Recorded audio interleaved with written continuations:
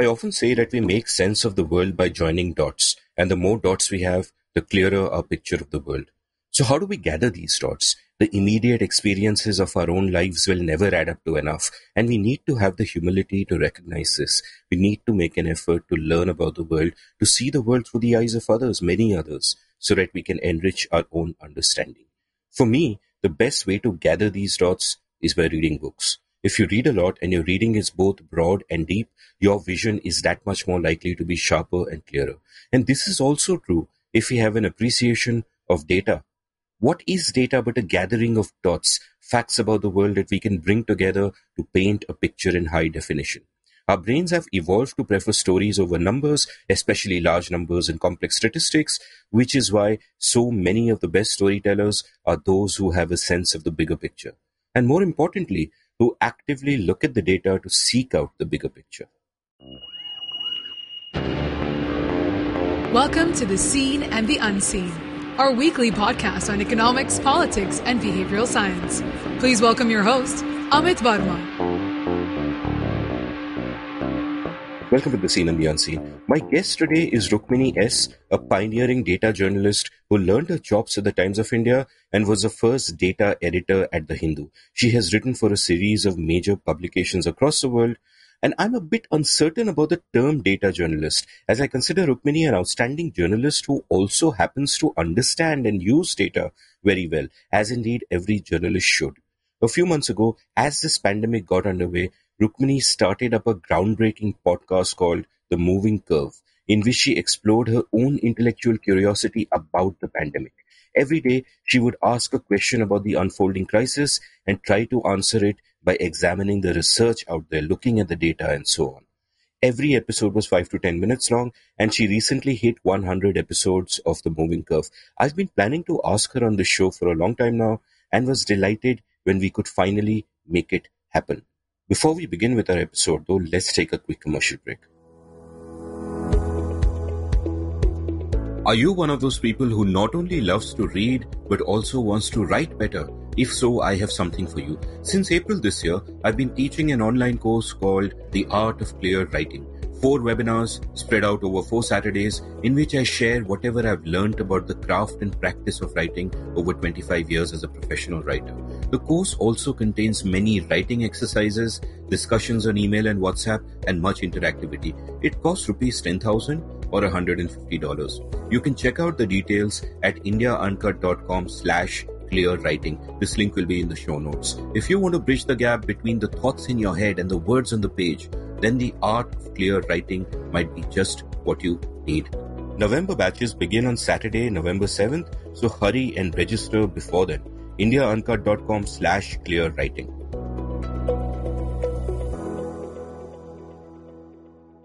Rukmini, welcome to the Seen and the Unseen.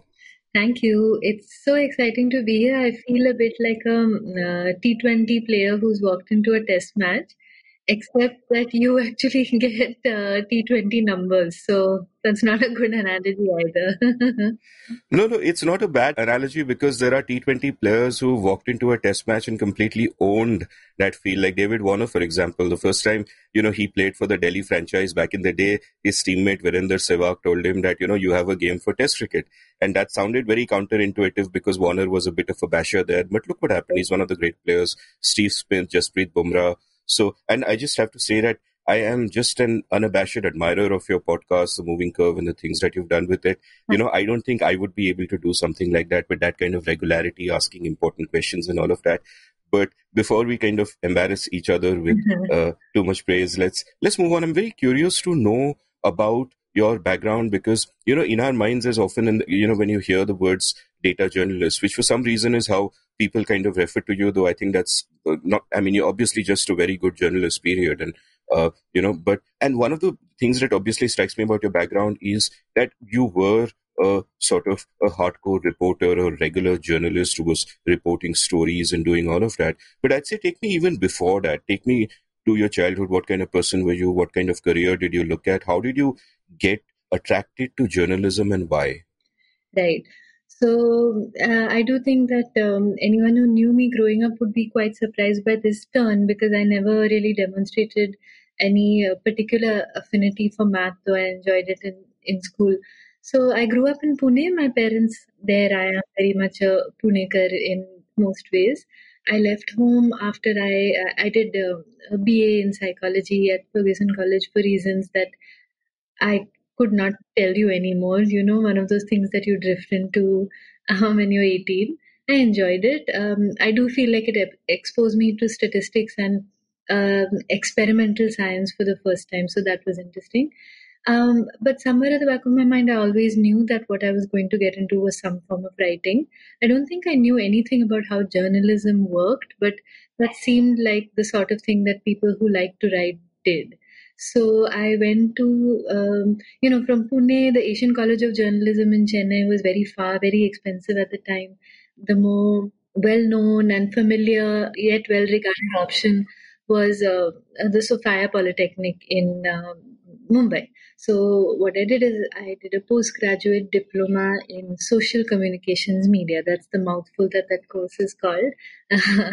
um, and I loved it. it it's women's only college, uh, 30 students living in a hostel for the first time.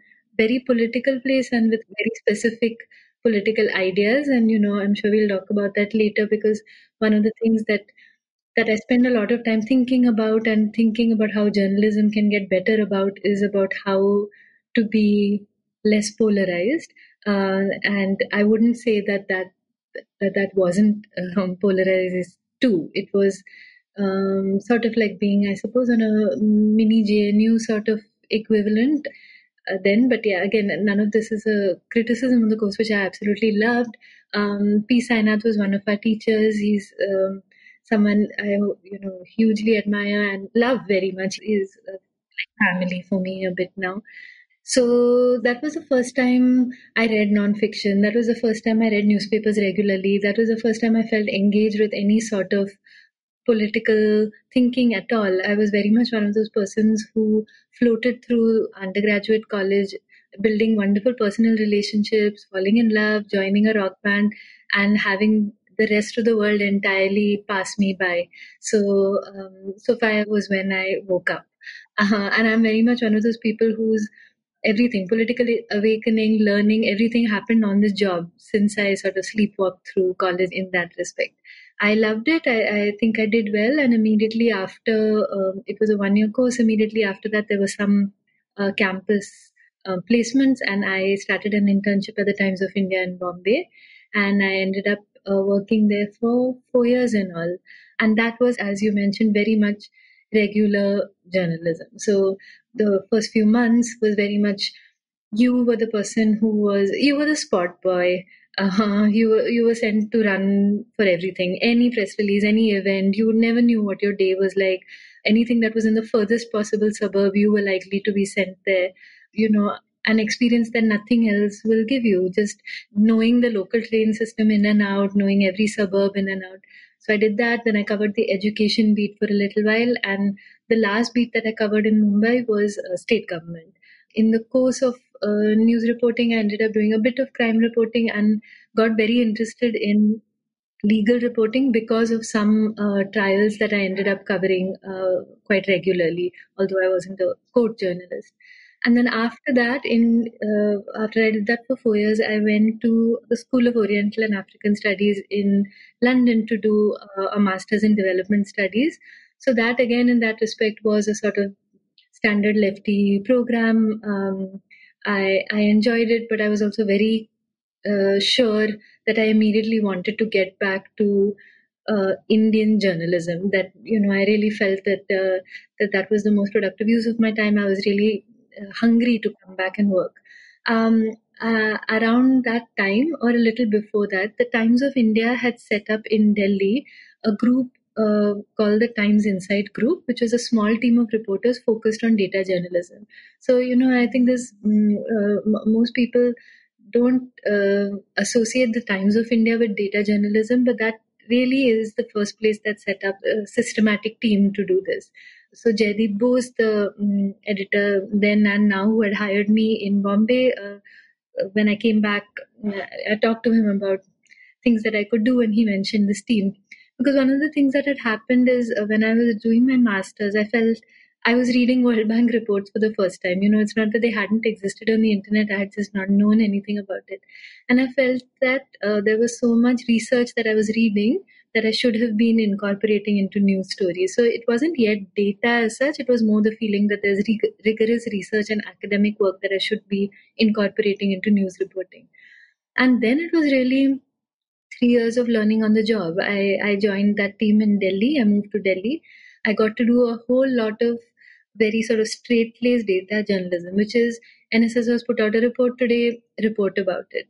World Bank has put this report out, uh, report on it. I'm, I'm really glad I got to do that. And really on data work, I was starting from learning how to do addition and subtraction in an Excel sheet. I hadn't done anything of that sort before. Um, and that group is headed still by uh, Shankar Raghuraman, who's a, you know, old school financial journalist, uh, very well, well known among the uh, old school Delhi uh, journalists, a great boss, um, uh, someone who really shines on election and budget days in particular. And again, this is not something people give the Times of India credit for, but it truly does shine on uh, election days, especially. Um, and the other great thing I got to do then was travel extensively. There was there was nothing uh, that no one said no to me for any idea I had. You know, um, around then in 2009 and 10, food prices started escalating. The price of dal, all of that started escalating. So I could write about it and um, look at the numbers and do all of that, but then also go to Bundelkhand and report on it. Um, and these were just things off the top of my head. I wanted to do the Bihar elections because it seemed like development indicators had really improved in Nitish's first term. I got to go and cover the Bihar elections. I wanted to write on um, uh, the panchayat system because I could see that there was incremental change going on in political representation there.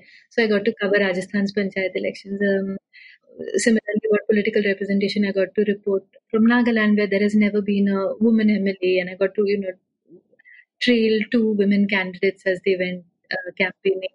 So that that I really I remember uh, feeling then that I was getting paid to understand the country and just nothing I could have asked for uh, better than that. Um, I did feel like I was maybe getting a bit um, slow and maybe a bit lazy, you know, spending too much time unproductively staring at a screen sometimes in office. So I'm glad then that Siddharth Varadarajan now, the Wires editor, then the Hindus editor, got in touch with me because I do think I was stagnating a bit then. Um, he uh, hired me to the Hindu in 2013 and I was there for three years. And um, after Siddharth left and Malini Parthasarathy took over, she uh, made me the data editor then, which was the first Indian publication to have a data editor position. So both Siddharth and Malini did uh, have that vision for uh, that vision, that focus, that emphasis on data over there. Um, so that was the last uh, sort of mainstream media full time job I had in 2016, I uh, quit the Hindu. I worked for the HuffPost for a little while doing similar work. And since 2018, I've been uh, doing this independently. And I moved to Chennai um, in 2016. So the lesson for this for people listening, by the way, is that uh, good Indian podcasters come out of Fergusson College, Pune, because I also graduated from there. Uh, so, uh, yeah, I I passed out in '94, so I think that might have been a little before your time. Yeah. Uh, so, what did you do in a rock band? I sang. Oh wow, amazing! Are there videos on YouTube that we can embarrass you with, or there are pictures from uh, Pune Times that uh, that my parents can embarrass me with. wow! Instantly, thousands of listeners immediately try to Google and uh, uh, figure that out. What I find very interesting about this whole uh, narrative, and this is uh, something that I've been thinking about for a while now, is the distinction between uh, the abstract and the concrete in people's experiences. Like it strikes me that when you go to college or when you go do whatever academic thing you do, you're being taught abstract ideas, you're being taught abstractions about the world. And then at some point, uh, of course, if you remain in academics, you can just remain in that abstract realm forever. But if you go out in the real world and you actually, you know, engage with it, then you get exposed to uh, concrete realities. And it seems to me that this distinction between abstraction and reality is something that can possibly apply to journalists like you in many ways. Like first you do the journalistic training and all of that, and then you're out in the real world, you're reporting from the weeds, and that's one sort of element of it. Another element of it is just how you engage with data. Like, uh, you know, many people would, and, and we'll of course explore this later in the episode in more detail, but people will often bring their own biases to data and try to make it conform to their narratives. But to do that, you really have to understand the data intuitively and all that. And like you said, it strikes me that it might actually have been a feature and not a bug that you had to learn all that from scratch, how to add and subtract in Excel, for example, which I still don't know. Uh, and you know uh, which would have also given you a concrete sense of data and its limitations and what it can be used for.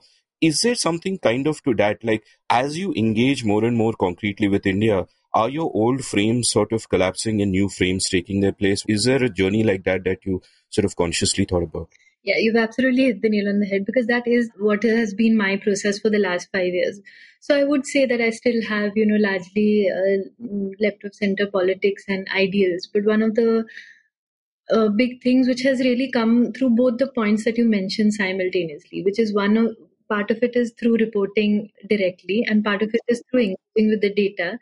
You know, it, it didn't even come as a moment of reckoning that I felt that I was, you know, confronting all that I. Um, believed or held dear and that it was all withering away. I, I suppose it had been uh, happening continuously and uh, didn't really come as a surprise to me, these realizations. But yes, accepting that a lot of what the left in India in particular holds true and passes on through universities or even through uh, leftist academics and the journalists who faithfully report everything that they say is deceptive, it's problematic, it's uh, not doing anyone much good. So, um, you know, all of this sounds a bit quaint. Uh, uh, all this UPA era stuff is now very quaint that we were having all these intense discussions about things like the public distribution system, but that's what we were discussing back then.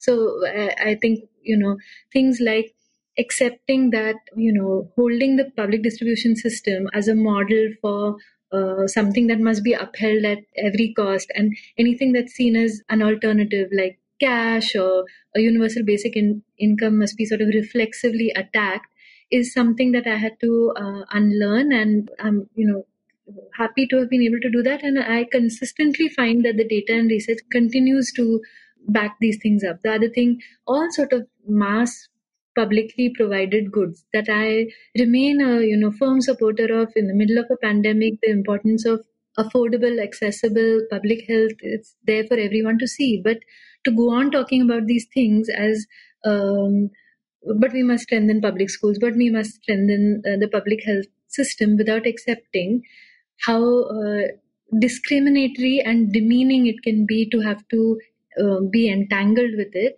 is privilege, is ultimately privilege.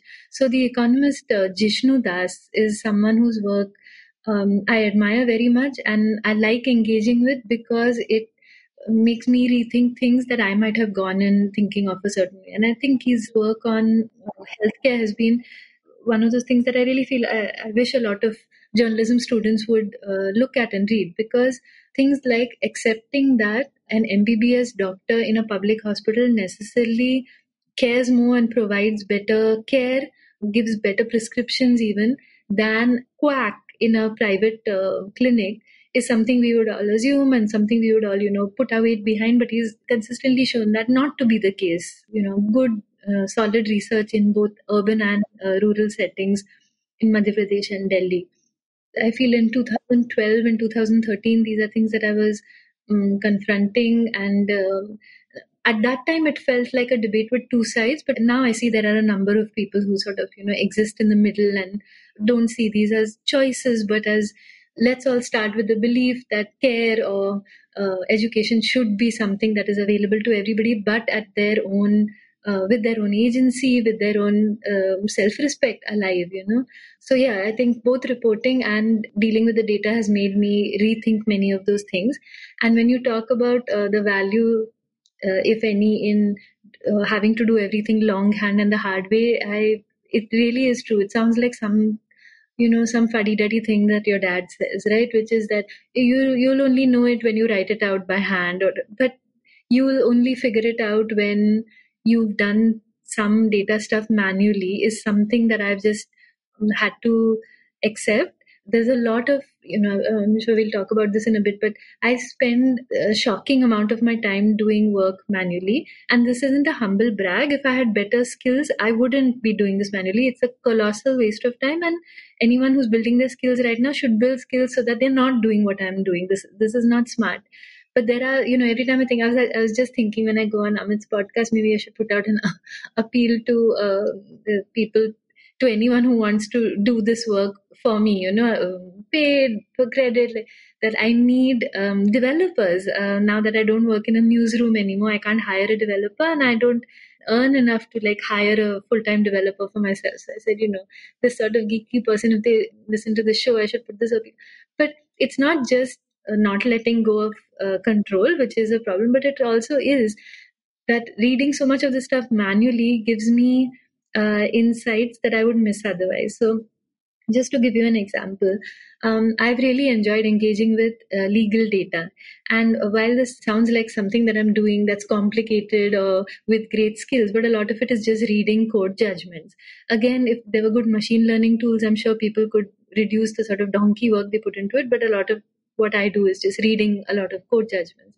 So there was a point at which I was having to manually read Metropolitan Magistrate uh, court rulings in Mumbai because I was looking actually for sexual assault cases for something specific I was working on.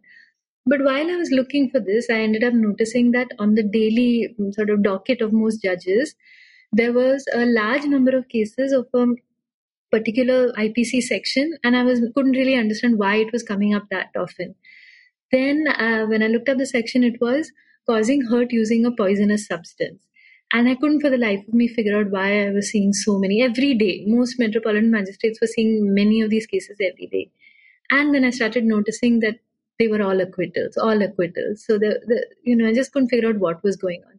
So what I ended up getting to the bottom of, and then I ended up investigating and writing about that separately, was that at that time the drug mephedrone, which was called meow meow on the street, was not in the uh, NDPS, the mm, India's Narcotics Act. It wasn't in the schedule that uh, gives cops the powers to go after it in those ways.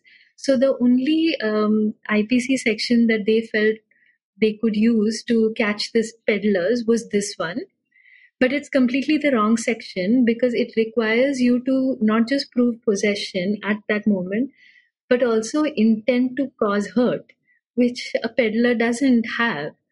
So it was one of the uh, most common cases that metropolitan magistrates were looking at, and it had a hundred percent acquittal rate. So this, wow, that's yeah, it's it's the seen and the unseen, right? I was just thinking about that. That this this this is what I saw, and this is the entire world of things behind it. I ended up going to Mumbai for it and speaking to the NDPS person and um, you know a couple of ACPs as well, and they were all like yes, we know that it wasn't the right one to use, sorry, but there's nothing we could do about it. And the judges were so sick of these cases coming to them because in each one they had to say, you haven't shown intent to hurt, acquit, acquit, acquit. And the cops were also using it to do a bit of, you know, petty score settling. And there were people who'd been in jail without bail for a year. I found, uh, you know, there was a disproportionately high number of uh, Muslim men in it. So there was all of that going on as well. No, it's so fascinating. I mean, it's almost like you're a forensic detective and you're going through the uh, data to figure all this out. No, I read in one of your interviews about how you mentioned that uh, possibly during this case that you had like these hundreds of tabs open and you're manually going through one judgment at a time. And that's just incredible. So I actually second your appeal. And if there are listeners of the show who can create uh, uh, solutions for this, whether at scale or whether at an individual level, please do get in touch with Rukmini. Another part of your sort of um, personal journey, which you also, I think, referred to in one of your interviews as b- being interesting and affecting your perspective, was moving away from Delhi, shifting to Chennai, having kids, choosing to kind of be located there. Did that also like shift your frame of reference and make you, you know, take you out of that Delhi journalism bubble, so to say, and make you look at things differently?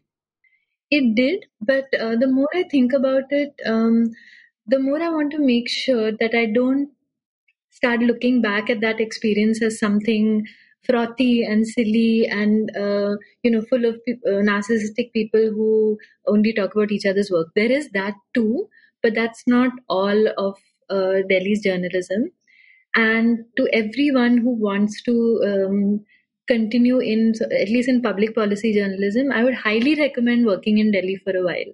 I feel like the journalism I'm able to do now and uh, in, in all sort of ways, even personally, is because I was in Delhi um, for those key years in between. Moving away from Delhi has it's made me more conscious of how it's impossible to understand some of the things that matter so deeply to people from a particular part of the country, not just from Delhi, but from anywhere else. So, um, being in Chennai, I feel like I could see the media trying to make sense and grapple with this Jallikattu issue when it happened a few years ago. I still sense it when they try to write about uh, NEET, the medical entrance uh, exam, and you know Tamil Nadu's feelings on it. And I just realized how lost in translation this stuff is. Things like self-respect are impossible to are impossible to communicate through journalism sometimes, and it underpins so much of what goes on in Tamil Nadu in particular. So, um, you know, I think while a lot of people who move away from Delhi, or even people who talk self deprecatingly about being in Delhi, diminish it a fair bit, I do think that it's possible to move away and uh, write, you know, more considered stuff only after you've actually been there first. So I'm, I'm very happy for, I loved Delhi. I loved living there. I loved working in journalism there. And, um, you know the conversations i had and the arguments over over public policy over politics you know over dinner in people's houses on terraces um, they were very formative and i still they, they are the sort of contours of the debates and discussions i'm still having in a sense having kids yeah that now that's a big um, change in in multiple ways I mean, one of it is just the time uh, part of it. So it just means that there's a that there's a significant shift in the type of journalism I do because of the hours in the day I have. It's also um, definitely changed my uh, consumption diet of journalism. My, uh, I mean, some of it is just it sounds so silly and childish to say, but I know that a lot of parents feel this is that I can't consume uh, violence much at all uh, I'm someone who's always uh, pushed back against things like trigger warnings, and I still uh, would a bit in journalism. I mean, I'm sorry, not in an entertainment show, but even in journalism, I have no, I cannot consume violence anymore.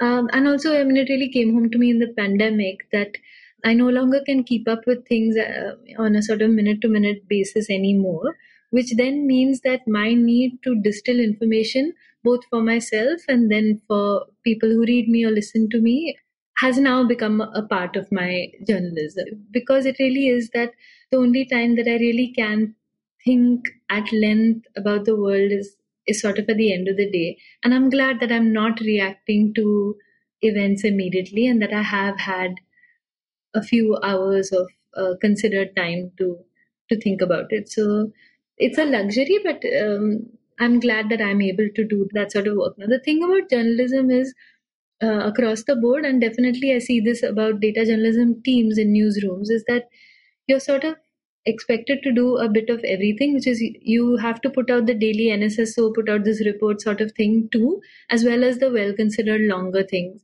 And that, that just leaves very little space to to think. Yeah, now I mean, it was surprising to me. Uh, it made me very happy, and it was surprising to me that uh, especially during the pandemic when people were home and you know so much more housework so much more childcare other people were suddenly consuming news in a similar sort of way.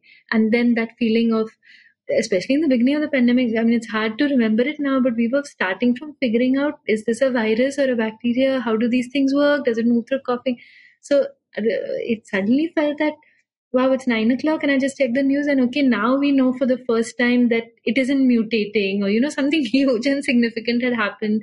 So I think other people too were feeling that, that need that I don't, I can't follow ball by ball commentary of this. I, I need to know by the end of the day what happens. So, uh, you know, a couple of tangential questions which I hadn't planned to ask, but they came up from, uh, you know, what you were just saying. And and question number one is, you know, uh, writers often talk about how when they become writers, uh, the quality of their reading changes. they start reading differently. Earlier, they are sort of uh, reading whatever books they are, just, you know, they're just going with the story or whatever. But when they become writers themselves, they start noticing nuanced aspects of the craft and all of that. Now, you spoke a little earlier about the consumption diet changing as you had your kids and you had responsibilities at home and all of that. The way you consumed it changed from a real time thing where, uh, you know, people might be tracking everything on Twitter all the time and all of that.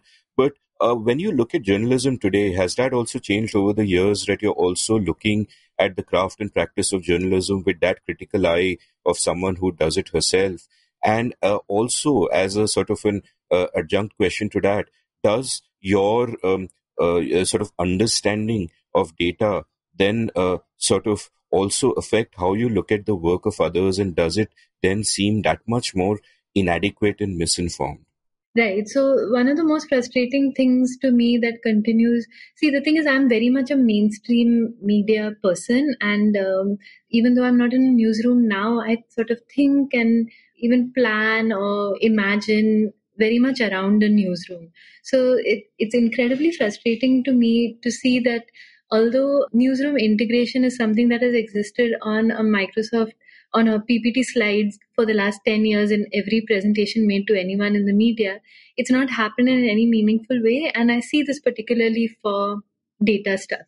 So, um, uh, you know, a couple of things have changed in how I consume the news. One is time, one is reading much more on my phone and you know uh, than reading physical newspapers and in the sort of stuff that i want to read considering as you're saying considering what i want to write as well I always find it very amusing when journalists sort of express fears about uh, bots because so much of the time journalists are actually writing like bots.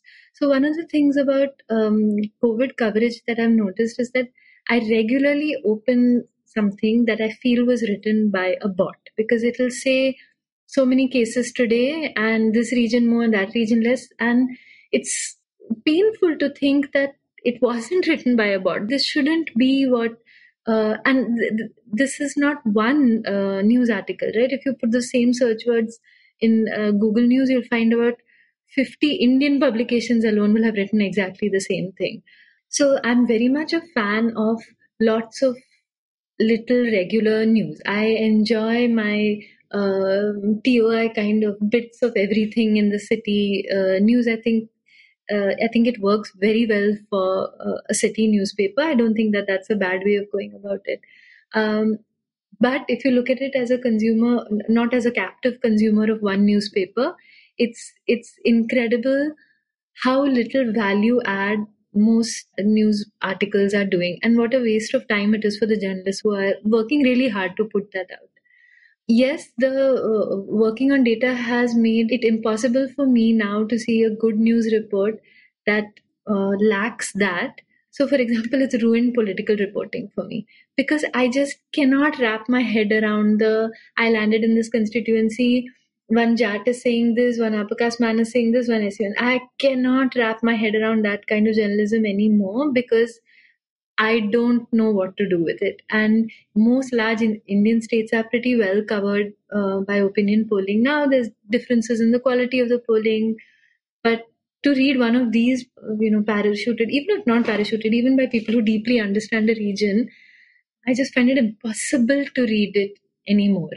I it shouldn't. These are you know hardworking journalists who are going out there and as such getting you the voices from the ground but i don't know what to do with it anymore. I don't know what part of my brain that's thinking about an election to put it into anymore it's it's like watching a fun show now. It's not something that i can slot into any usable thing.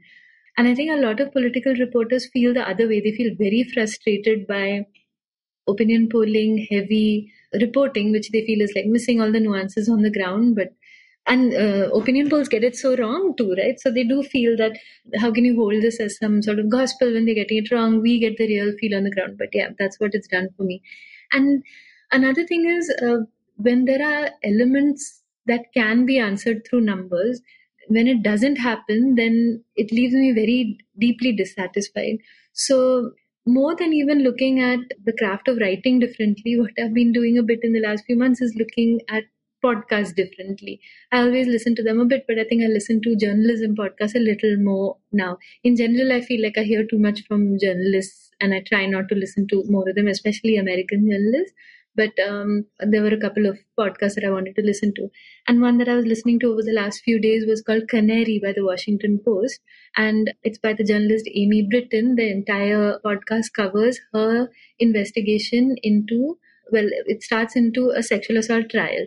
Now, this is something I feel very strongly about, and not strongly, it's something I sort of engage deeply in, and I'm not sure yet what to feel about the reporting of sexual assault. You know, it's beyond any, nobody still needs to discuss the fact that that the way women complainants are written about is a problem, that trials through the judicial system, the questions that are still allowed, the way the police behaves, all of that is a problem. But I still have a problem with over involved journalism around uh, sexual assault, starting from the point of using things like victim and perpetrator instead of complainant and accused, all of that stuff.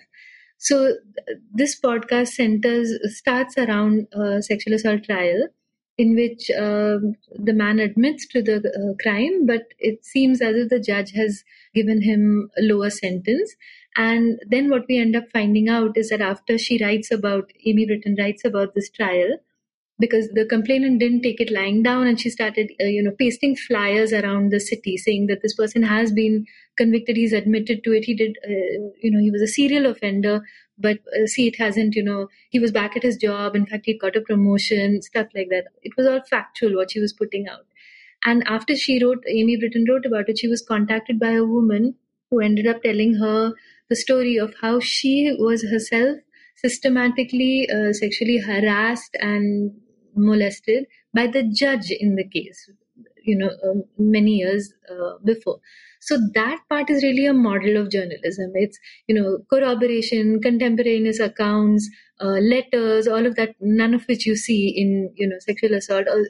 This isn't sexual assault. This is a complaint of a sexual assault right? Not a trial. You never see that in the coverage here and it's great to see that.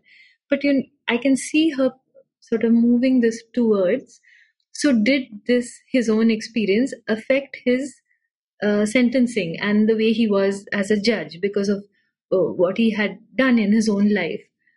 And what happens, she puts her data journalist onto it, the Washington Post data journalist, and ultimately they come up short because they just can't sort out the um, court data. And part of me was feeling, well, you know, open a hundred tabs and read them one by one, but also there was some information they just could not get. So she doesn't answer that part. So she says, I don't have an answer on that. And to me, that felt, I felt like I was being led down a path and then just completely, uh, you know, disappointed on that because I did want that data part in that story. Otherwise, this was a very well told story about how one judge 30 years ago had uh, sexually harassed and molested someone. And that's, that's not the story that I felt I was being sold at all. So yeah it it really does take away from my enjoyment of of a lot of reporting now. And of course when in cases where i can see that the data exists and should have been used and maybe in some cases would have even not answered exactly that. As i said particularly for political reporting it's absolutely ruined election coverage for me now yeah, I, am struck by a couple of the things you said. One, uh, of course, I like your.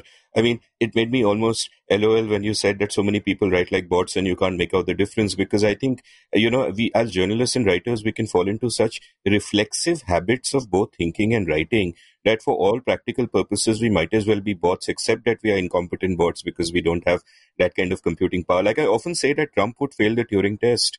And I think that might well be uh, true of many other humans as well. The second part that you said that really struck me, and I'm, I'm obviously going to search out Canary and binge on it now, is a bit where journalist at the end says that I don't really have an answer, which is so refreshing because there are uh, you know, it's in India, for example, it's almost like you have a compulsion to give an answer. And this percolates down for some strange reason to everyday life where if you ask anyone on the street the directions to somewhere, even if they don't know, they will feel compelled to tell you that wahan jaiye, wahan se daine, wahan se baine, and so on and so forth. Right. My my other sort of question which came out of what you were uh, saying earlier was you know when you were talking about how moving to the south you realize that there are areas which are for example not covered by delhi questions that they are not asking and so on and i was being interviewed for another podcast um, uh, today where i was chatting about tiktok where uh, you know i taught a brief course on tiktok in indian society and i'm quite um, you know, I love TikTok. And, and, and one of the things that to me TikTok did was that before it came along, popular culture had arbiters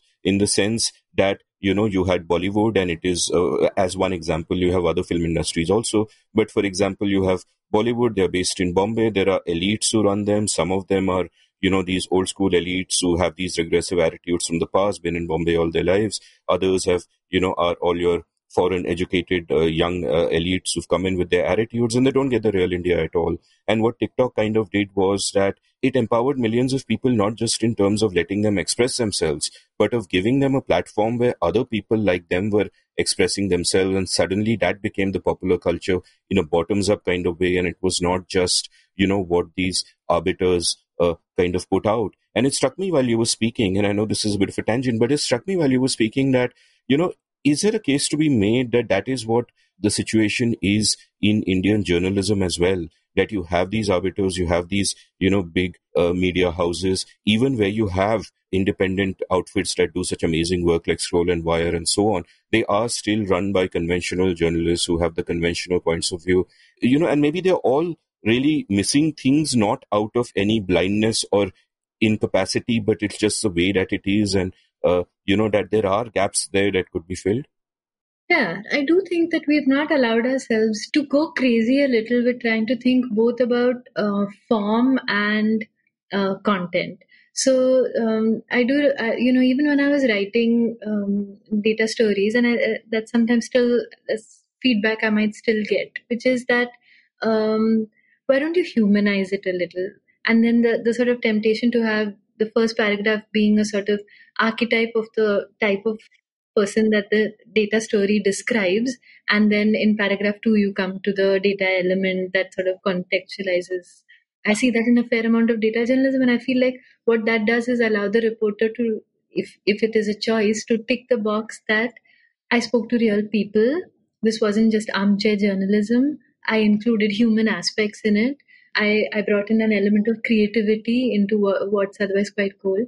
So yes, I, you know, it's so hard to think of a piece of journalism that truly surprises you, right? But and it it doesn't have to be that way. And I I agree with you that I don't understand why uh, newer places have not allowed themselves to uh, experiment with that uh, to the point that they really read like the Indian Express if they're one sort of journalism so there was, and I was looking, trying to look this up before uh, this call, but I didn't get to the name in time. You might remember this. At the beginning of the pandemic, there was um, a guy who wrote a piece for The Atlantic, I want to say, which sort of described what happens to your body when the virus hits you, but through a, hypothetical story of a man who's, uh, you know, meets a friend for lunch without realizing it. It's, but the, the science in it was hardcore. It, it, you know, got right into all of the cells and all of, all of that so I felt like I did actually learn about how the virus enters the human body and what it does. I that was the first time I sort of properly understood what the cytokine storm even means, um, though it was told in a sort of semi-fictionalized way. And you know, I just remember that just struck me also right now because uh, these kinds of stories that truly surprise you, I feel like I can really count count them because they are so few when when the form really takes you takes you by surprise. Um, I think people are doing much more inventive stuff in uh, video. So that that's that's where you occasionally see people breaking out of that very old school NDTV documentary kind of format of reporting reporting on everything. Um, uh, and you know the other thing that struck me when you were giving your TikTok example, and when I was thinking about the South, is that to me, in a way, Tamil, which I am in no way uh, fluent in, and I knew no Tamil until I moved to Chennai, and I'm still not great at it. It was like that. It was like, you know, what maybe learning about TikTok felt like to you, seeing this entire universe of people who other filters and bubbles had not brought to you, maybe, or to any TikTok user. Tamil feels like that to me. And I've got nowhere near, you know, even reading. So it's not literature, it's just popular culture that I am in, in some ways able to consume right now. Everyone likes to say this about their own language, but I truly so far feel that the Tamil meme industry is just, just off the hook. They are so funny, so quick, so savage and th- these are some of the great you know untranslatable. because again when i see the the tamil pop culture that filters up and makes it to the rest of the country it's the most boring sanitized sort of yuppie stuff that that gets popular. The guys who are on the mm, you know comedy circuits. But but the stuff that's actually uh, getting shared over whatsapp or that's really you know um, popular among friends or my husband and his friends over here will, is is so much more subversive. So it's rare. Well something like tiktok would be something that opens these worlds to you later in life right i think i have no brain cells left for any more new social media so i have given up on that now but i hope that tamil can be that for me a little bit you know this opening up of people of a culture that arbiters had not, my own arbiters had not allowed uh, to get to me so far. That's fascinating. I was just trying to look for the, you know, the story in the Atlantic which you were mentioning. We'll take a quick commercial break and come back to that. I, I suspect it might be by either Ed Yong or Yascha Mounk, or those were the no, not one of them. Neither. Okay, so uh, so let's take a quick commercial break, and, and you know, during that commercial break, we can look up the story and uh, you know, uh, tell our listeners who it is. So we'll be back in a minute. If you enjoy listening to The Seen and the Unseen, you can play a part in keeping the show alive. The Seen and the Unseen has been a labor of love for me. I've enjoyed putting together many stimulating conversations, expanding my brain and my universe, and hopefully yours as well. But while the work has been its own reward, I don't actually make much money off the show. Although the seen and the unseen has great numbers, advertisers haven't really woken up to the insane engagement level of podcasts. And I do many, many hours of deep research for each episode, besides all the logistics of producing the show myself. Scheduling guests, booking studios, paying technicians, the travel and so on. So well, I'm trying a new way of keeping this thing going, and that involves you. My proposition for you is this. For every episode of The Seen and the Unseen that you enjoy, buy me a cup of coffee or even a lavish lunch, whatever you feel it's worth. You can do this by heading over to seenunseen.in slash support and contributing an amount of your choice. This is not a subscription. The Seen and the Unseen will continue to be free on all podcast apps and at seenunseen.in. This is just a gesture of appreciation. Help keep this thing going. seenunseen.in slash support. Welcome back to the Seen and the Unseen. I'm chatting with uh, Rukmini S about data journalism, COVID, and we both have sort of a sheepish smile on our faces right now because before the break, we promised you we'll find you a link to the story she mentioned, and we have failed despite our substantial Googling skills. So, but it will be in the show notes because that gives us a few days to find it. We are recording this on Monday, October 19th. It comes out this Sunday. so, without finding it, it's going to come tonight. Yeah, yeah, eventually. And even though I haven't read the story, I suspect I can't sleep either till one has discovered it. Let's get back to, you know, your fascinating journey discovering data. I mean, I mean, one thing that often strikes me is that I just find that term itself, data journalism, kind of odd because it's almost like saying, oh, that person is a word journalist or that person's the part of journalism he does is writing or reporting or whatever. And to me, all of those are kind of a package which come together. If you are a reporter or a journalist, you are supposed to examine the facts. And data, after all, is a collection of facts. So, you know, is there a point at which the data journalist becomes a, a different sort of beast? Like, when did you start thinking of data as something special that kind of that your consideration of data sets you apart from uh, you know not from others maybe uh, but maybe from the person you were previously. Like what was the first TIL moment that you got from data?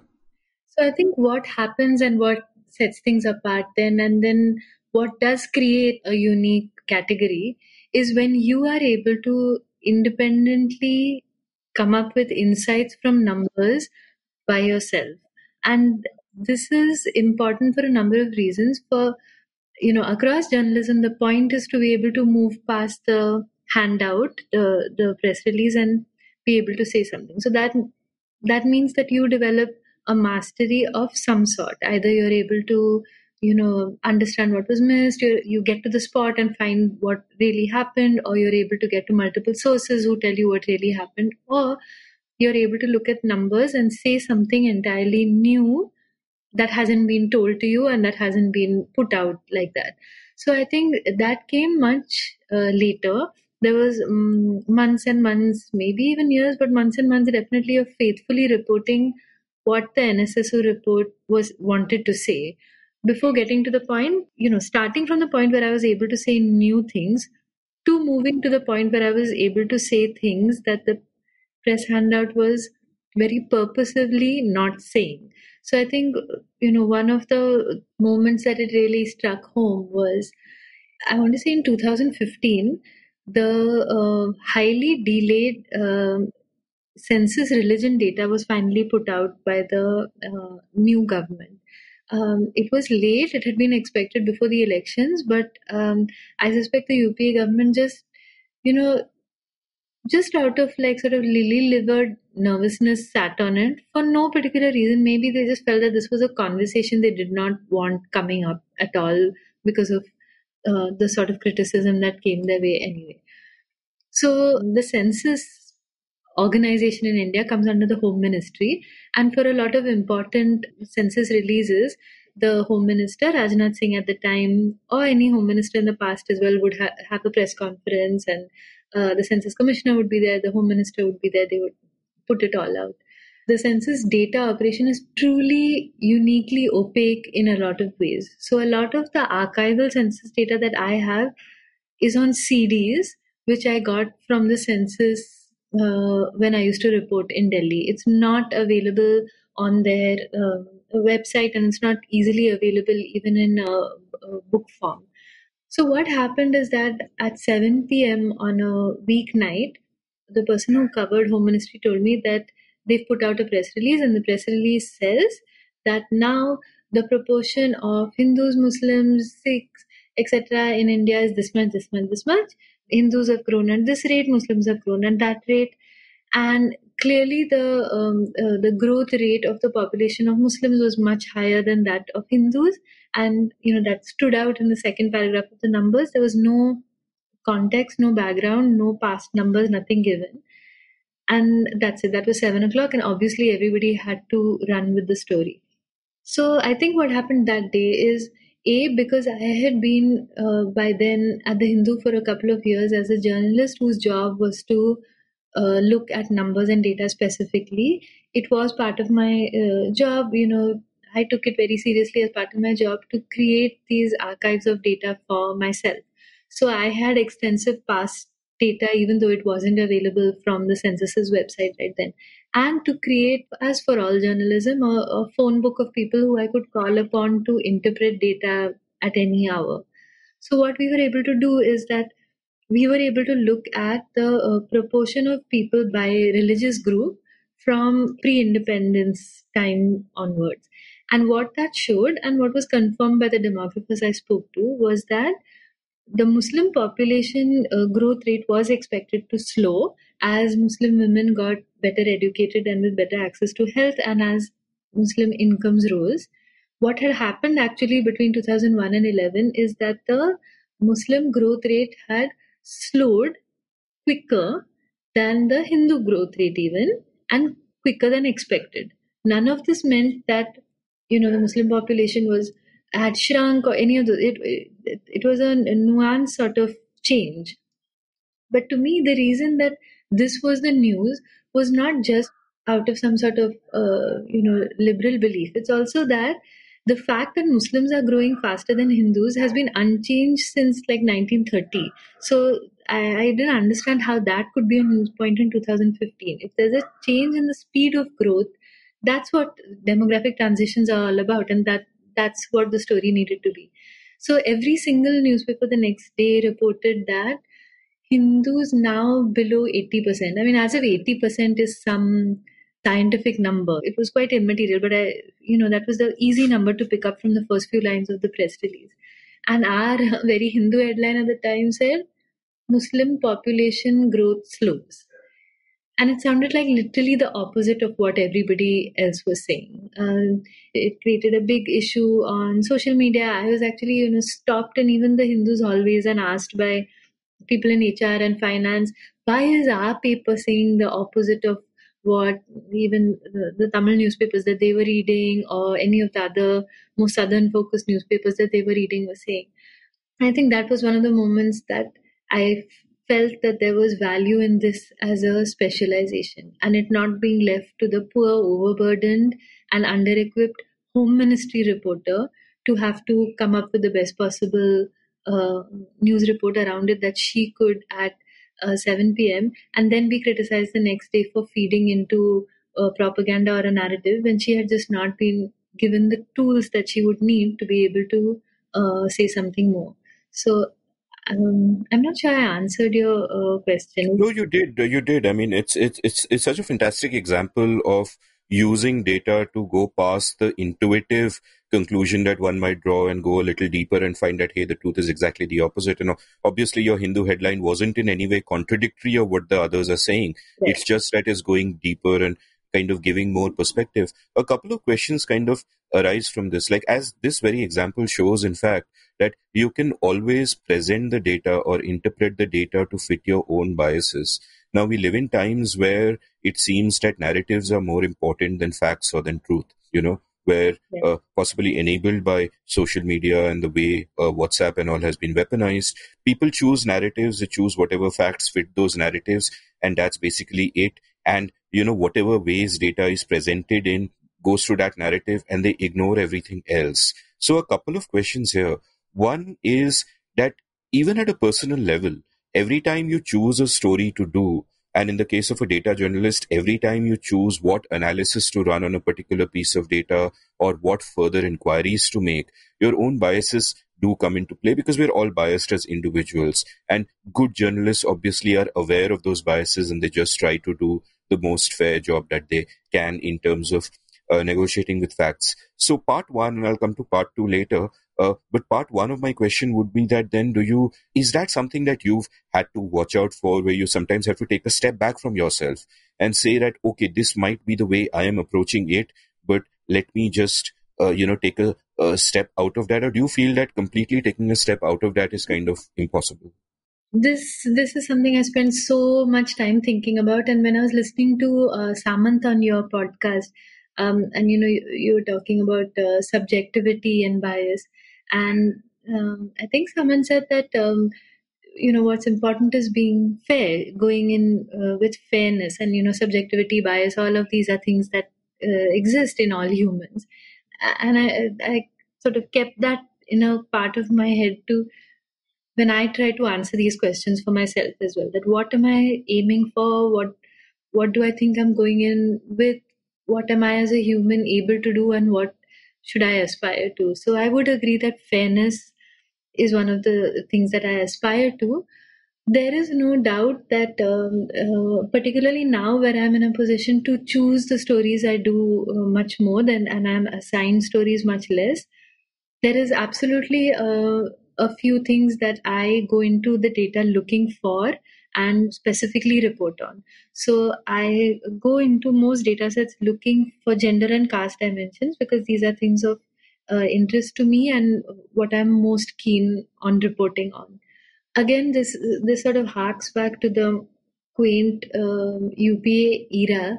It's hard to believe then, but that one of the biggest cleavages then was between the center left and the left of the left. It's so hard to imagine that that was the key cleavage then. But I remember, you know, I don't want to date it too specifically because I don't want to talk about who this was, but someone who uh, assigned you used to assign me stories at one point when I was reporting on an on the census.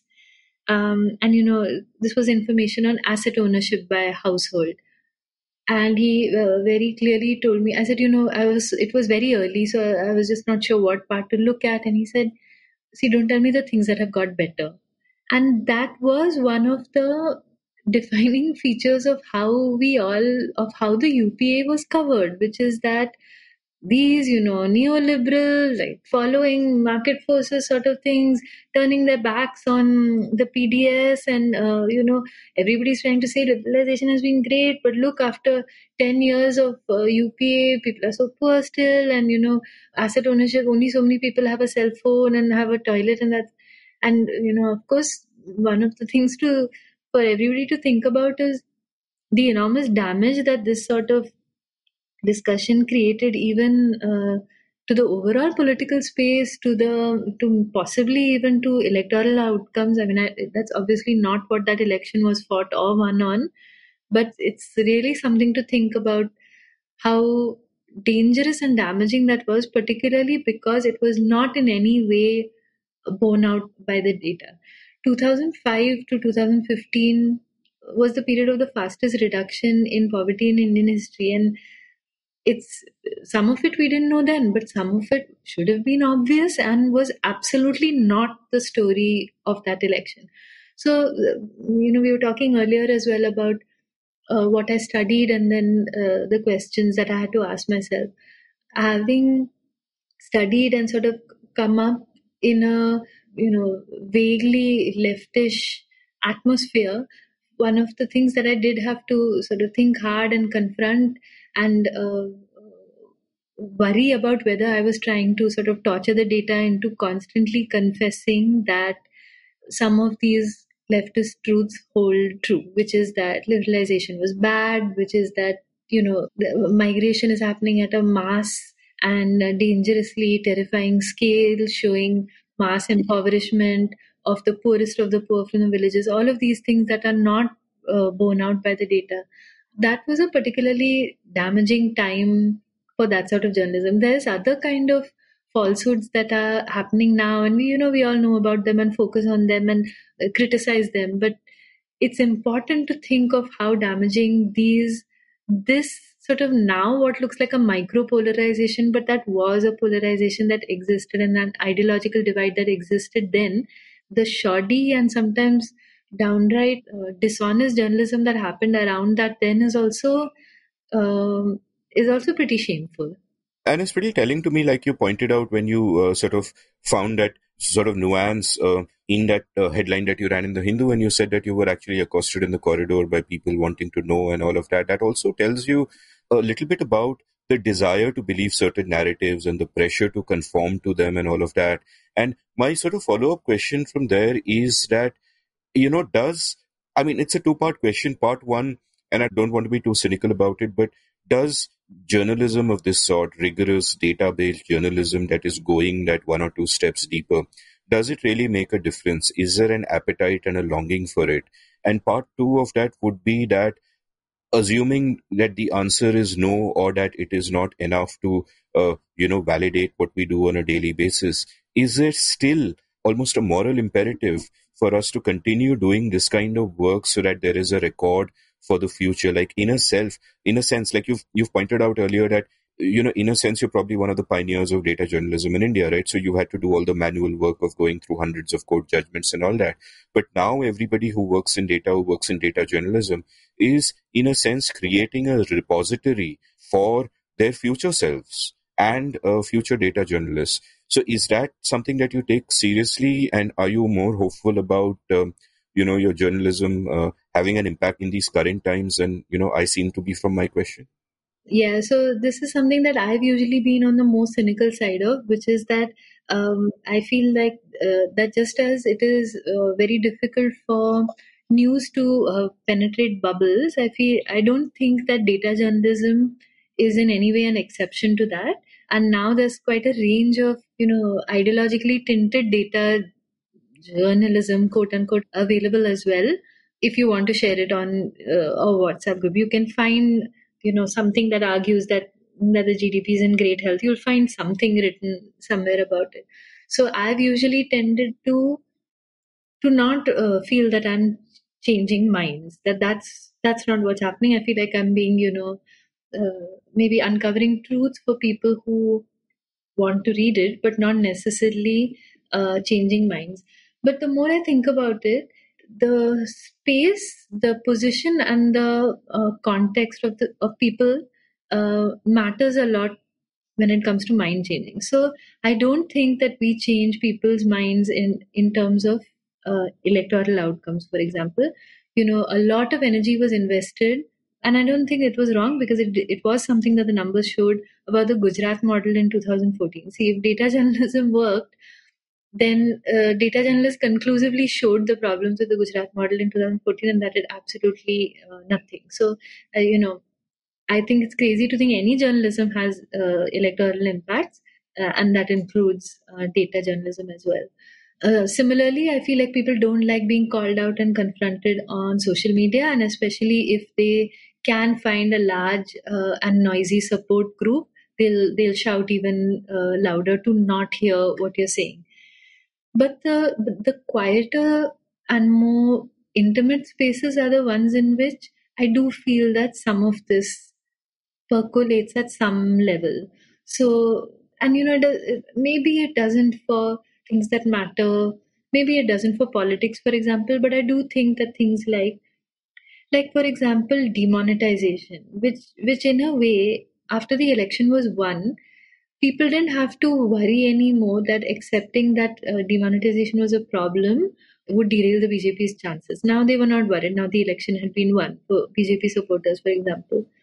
So in you know quieter one-on-one, more intimate context, I do feel that then people might consider the value of uh, being shown or told numbers that uh, don't necessarily uh, that uncover a true truth uh, for them as well. Uh, I'm not a confrontational person, and I similarly feel this about the tone and the way in which these conversations need to happen as well.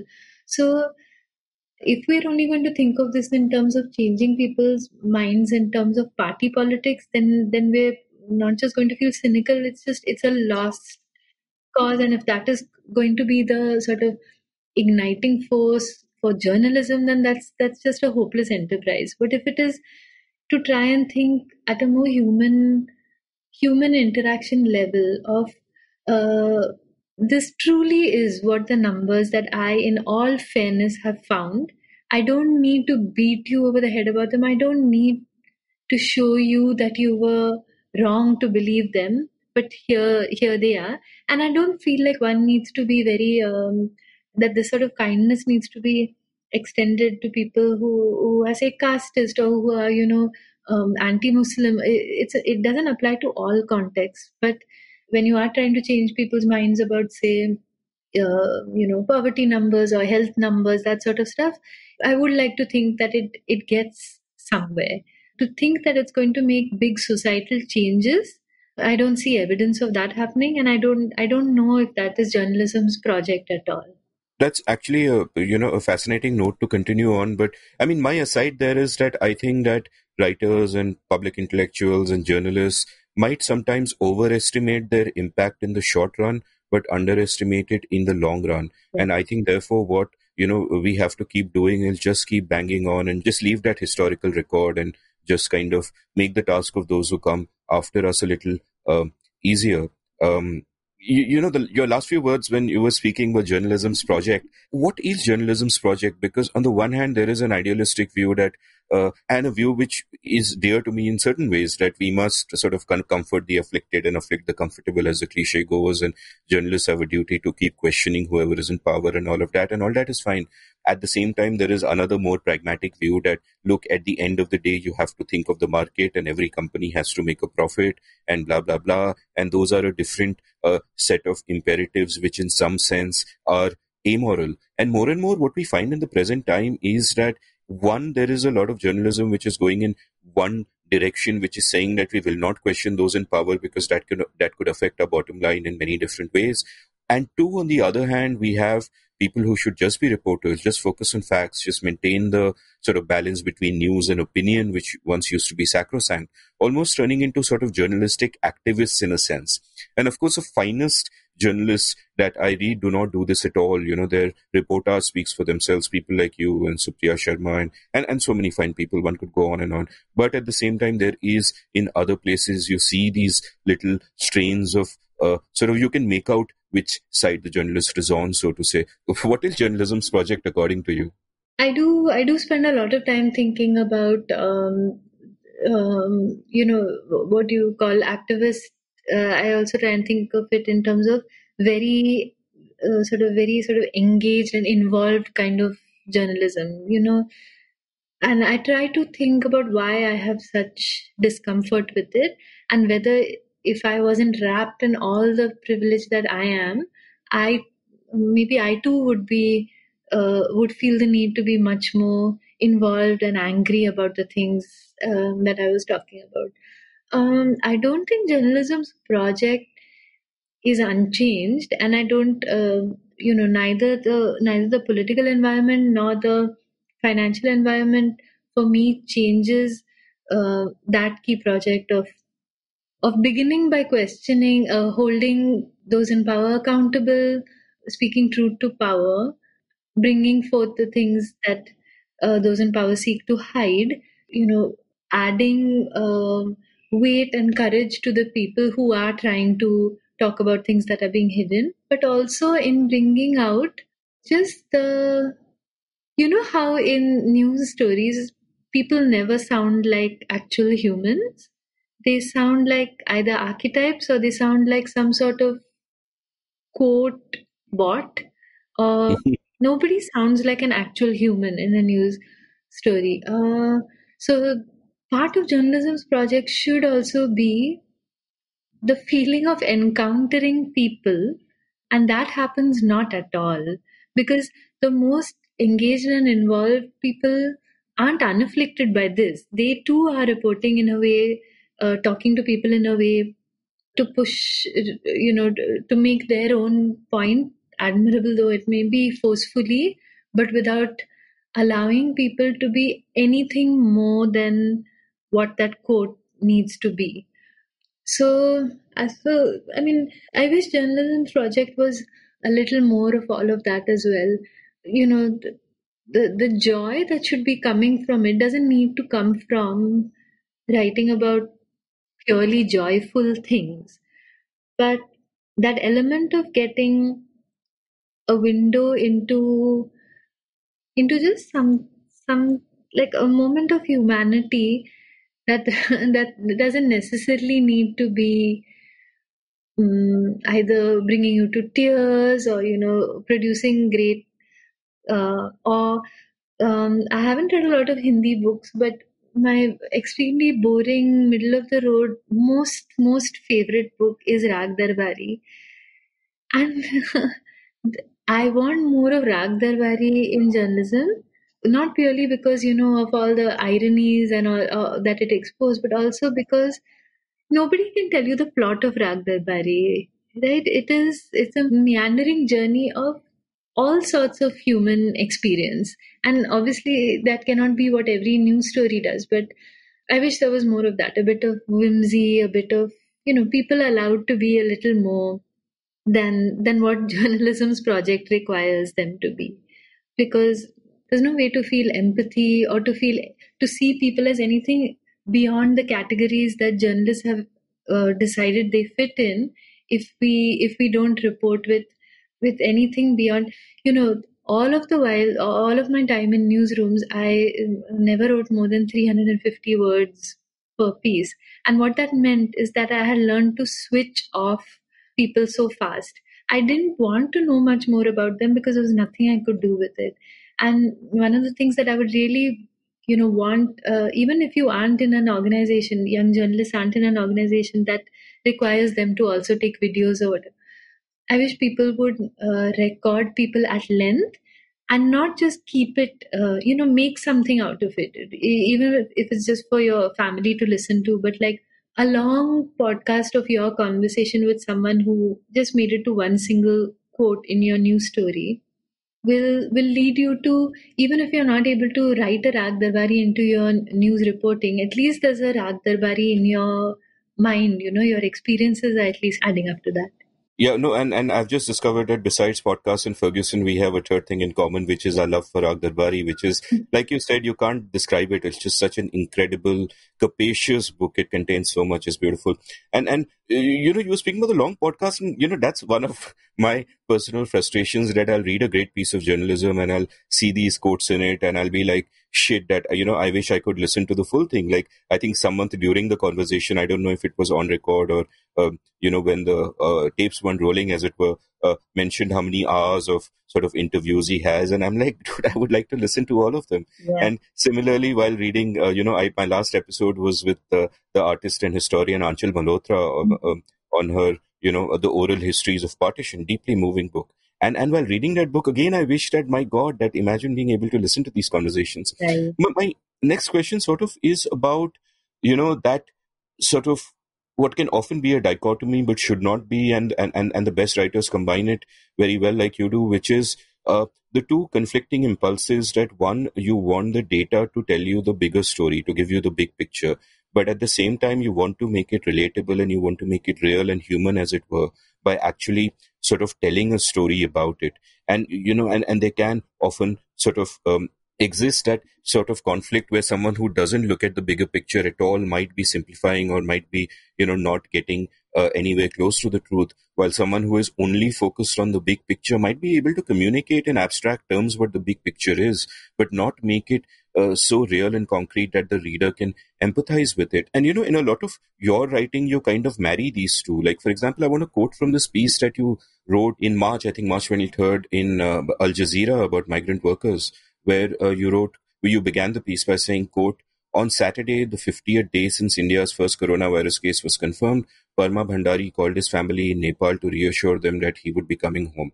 They were not all going to die without seeing each other, he told them. Stop quote, which is such a lovely human beginning and immediately makes the reader interested. And then you, there's a lot of data in the piece, but very relatable. And then towards the end, uh, we have the uh, line where, uh, you know, you quote his roommate, Padam Bhandari saying, quote, now there is no going back. Whatever it is, we have to face it here. Stop quote. And, and, and this is from an aspect that you discussed in, you know, episode five of the moving curve, your uh, amazing podcast, which we'll go on to discuss. But here again, it seems that you've, you know, managed beautifully to marry the personal with the overarching, you know, what's happening in general.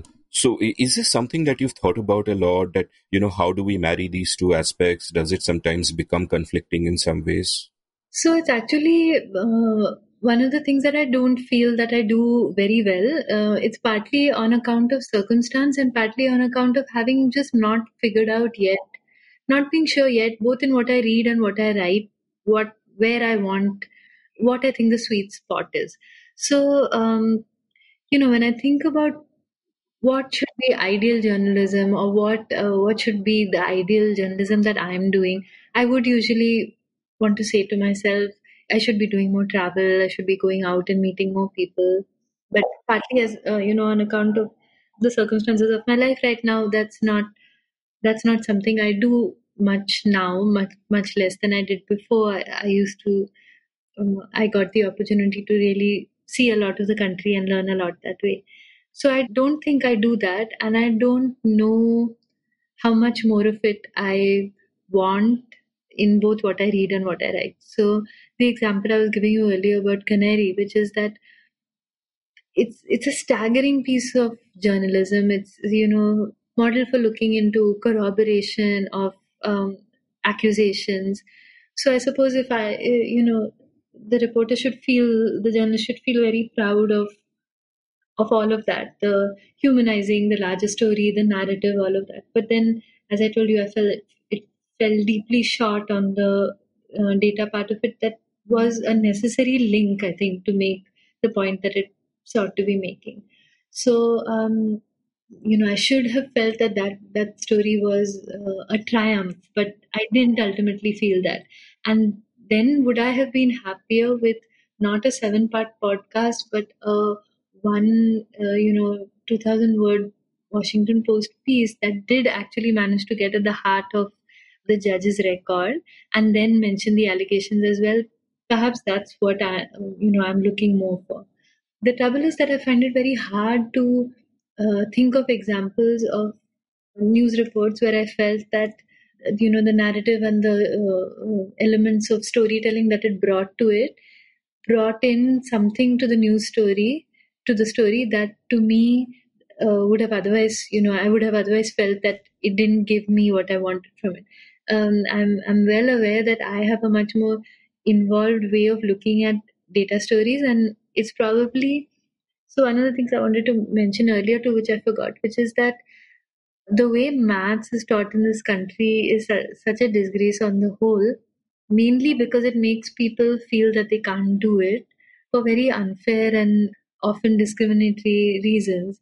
Uh, and I feel very bad when I occasionally take data journalism courses to see very bright people completely freeze at you know very simple numbers 20 year olds who uh, get absolutely frightened by uh, simple uh, percentage or subtraction uh, and i you know imagine that uh, people who have been taught math similarly feel the same when they see a data story. So you know that's the last sort of thing that i would be that i'd want readers to feel. So maybe maybe more of this is important to not make i don't want readers to ever have to feel that here's someone saying something very smart. And because i am i don't understand numbers i'm not smart enough and that's why i haven't understood what they're saying. So you know maybe sacrificing uh, some of the charts and the numbers to be able to tell the story better would would not alienate people who have not been not just not had the opportunity to study math or logic in in in a way that uh, would help them. Because having not been trained in statistics myself the the level of statistical analysis I do is extremely basic, and in a way, uh, you know, that holds me back from being able to do more ambitious stuff. But I would hope that it makes it more accessible to readers who are more likely to be at my level and at you know regression analysis level. Sorry, I got a bit lost over there. Um, no, all of it made sense, and all of it sort of spoke to my question about, uh, you know, the the trade off between narrative and data, the big picture and the concrete. Yeah, so, so occasionally I see uh, people who do it wonderfully. I was reading uh, recently a ProPublica inv- investigation into uh, Chicago's first 100 COVID deaths. And here there was original data journalism because um, there had been no analysis yet by you know either the local administration or the government. So this is something that journalism needed to do because I think they found something like 70 out of the 100 deaths were African American. So that was an important thing to get to quickly because that was still at a stage at which, you know, the medical fraternity could rejig and rethink. And it begins with a very moving um, uh, story as well. And what I liked is what it, you know, centered on the point that uh, African Americans are much more likely to have uh, what are known as comorbidities for COVID, but that doesn't make these deaths inevitable. And just sometimes you read a line and you're just like, why was I thinking? This is what I was thinking. Someone has called me out. I, you know, making morbidity sound like inevitability is something I was doing. And I read that one line and it just made me feel like, okay, I, this is something I should keep in mind when I'm reporting about Indian uh, COVID numbers as well. So that, that was a, you know, to me, one of those examples of really being drawn in by the by the narrative and then being kept there by the original, truly original data work over there. But um, yeah, I suppose this is where knowing your audience becomes important, and I don't know my audience at all. So knowing how much more storytelling my audience would like is a vague sort of guess that I make. Um, like at the Hindu, for example, there were a lot of young um, students who read the newspaper, and I know that they were really hungry for information. So I did want to speak to them very much. I loved that audience, and I think they were okay with not uh, having the uh, storytelling elements. They really wanted to get to the meat of it. So um, I don't know. Maybe uh, I hope at some point I can figure out what my audience wants. So there's something you said earlier which I think is profoundly important and I feel strongly about it. So I'll kind of underscore that, which is, you know, when you pointed out that people who may not uh, have studied math very well and they might come across a story they don't really understand and they feel that, uh, oh, am I the stupid one here? And, you know, I sort of teach this online writing course where I constantly tell them that, look, if your reader doesn't understand something, it's not their fault, it's your fault. Right. You know, and I, I think that's true of journalists as well, that, you know, do not condescend to your readers. And, you know, if any reader doesn't understand something, you have messed up. That person is not stupid.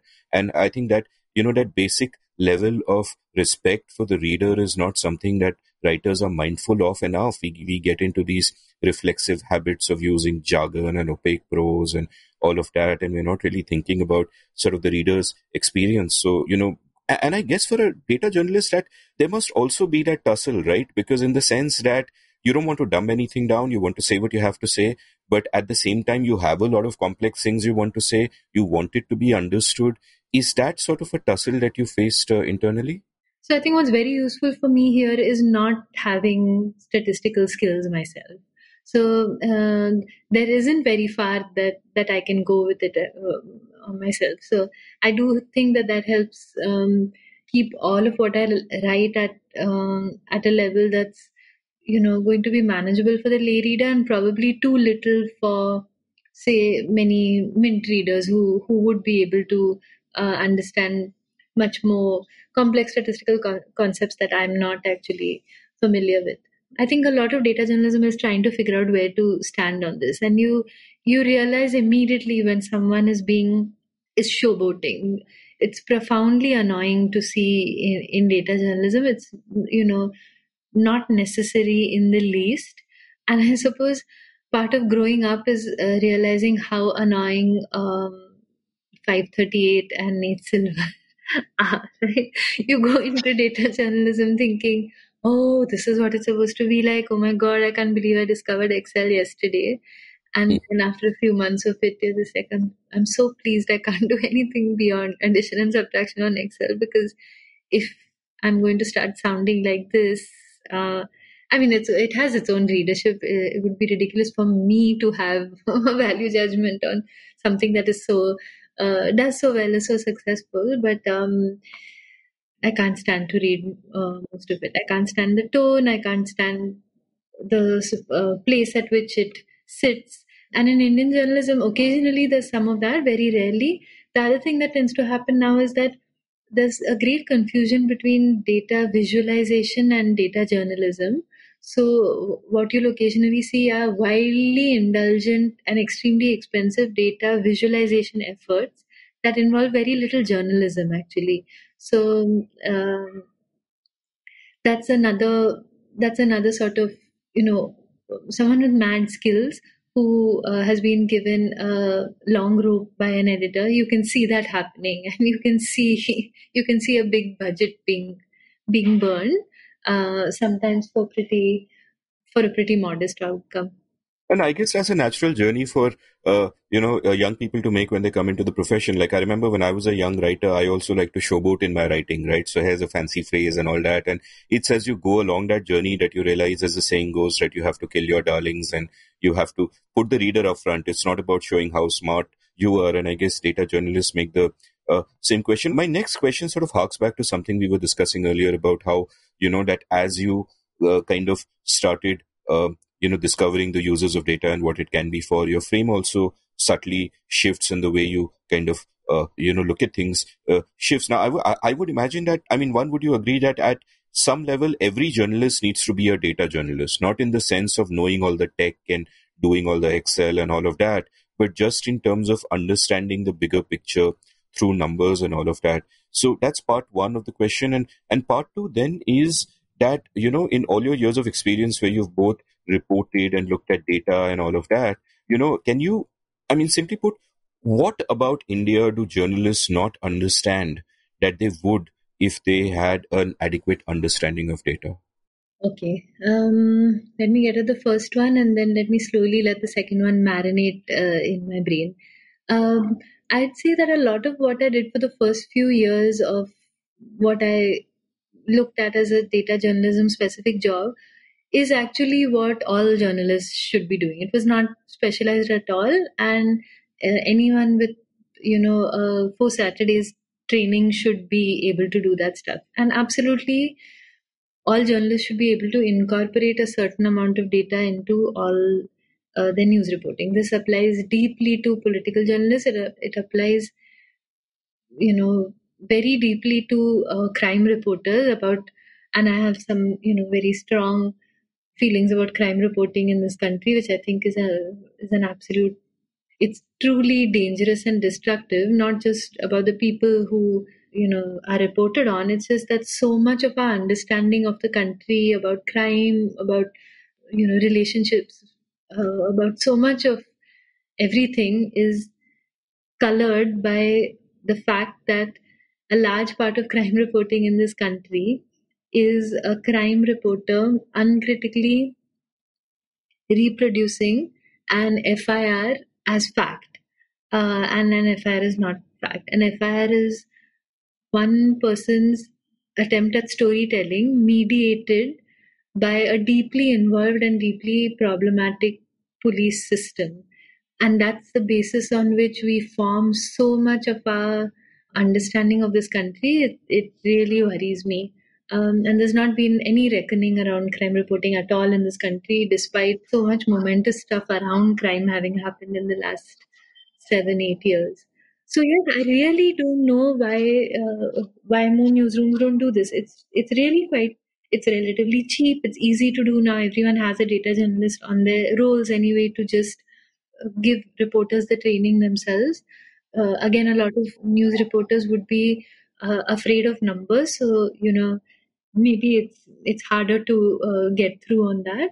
Even working in teams is is so rare between data journalists and other uh, journalists. So yes, absolutely. I mean, hopefully we'll reach a point where desks start returning reports, news reports that don't have any sort of references to data or research to substantiate at least the key point that the article is making, or at least the fact you know, just as you need to be able to tell your editor who your anonymous sources most of the time or, and why you've not quoted them, you should be able to at least assure your editor that the arguments that your anecdotes are making are sort of supported by what uh, research says. And, you know, that should be a sort of line that you need to, benchmark that you need to achieve for a story to go forward.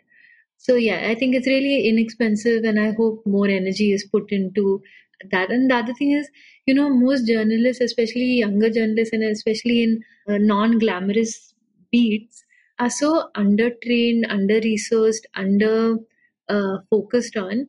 Um, it, you know, it, it, they deserve it. They deserve being given uh, these skills, and frequently, uh, um, you know, I get either people getting in touch with me and uh, uh, from non-English media where really I feel like the hunger and the desire to have uh, data journalistic stories in the uh, paper is so enormous and such an unmet need that nobody is able to still fill this gap at all. So I wrote for a while for, um, I mean, I say I wrote, but I wrote for a while for Dainik Bhaskar, and I just they just said just write in English and we will uh, translate it and carry it. Because um, uh, you know just be just be uh, mindful of roughly who our audience is. So you know they don't write completely sort of a Tamil Nadu Kerala story.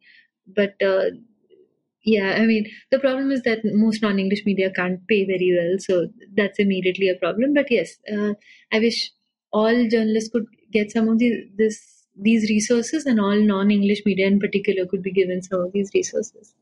What is the second thing you have Yeah, my second thing, I mean, before we get to that first, I guess, you know, the Aarushi Talwar case or the way the SSR uh, imbroglio was reported would be prime examples of, you know, how horrendous the crime reporting in our country is. Is it partly because, uh, I mean, do we take shortcuts because we are also understaffed in the sense that you know people except in places like caravan and so on people don't really get 10 days to work on one story and you know let the let it marinate talk to 15 sources. Instead everything is like okay where's your story for the day? And and therefore you take these shortcuts and that's just how the system works.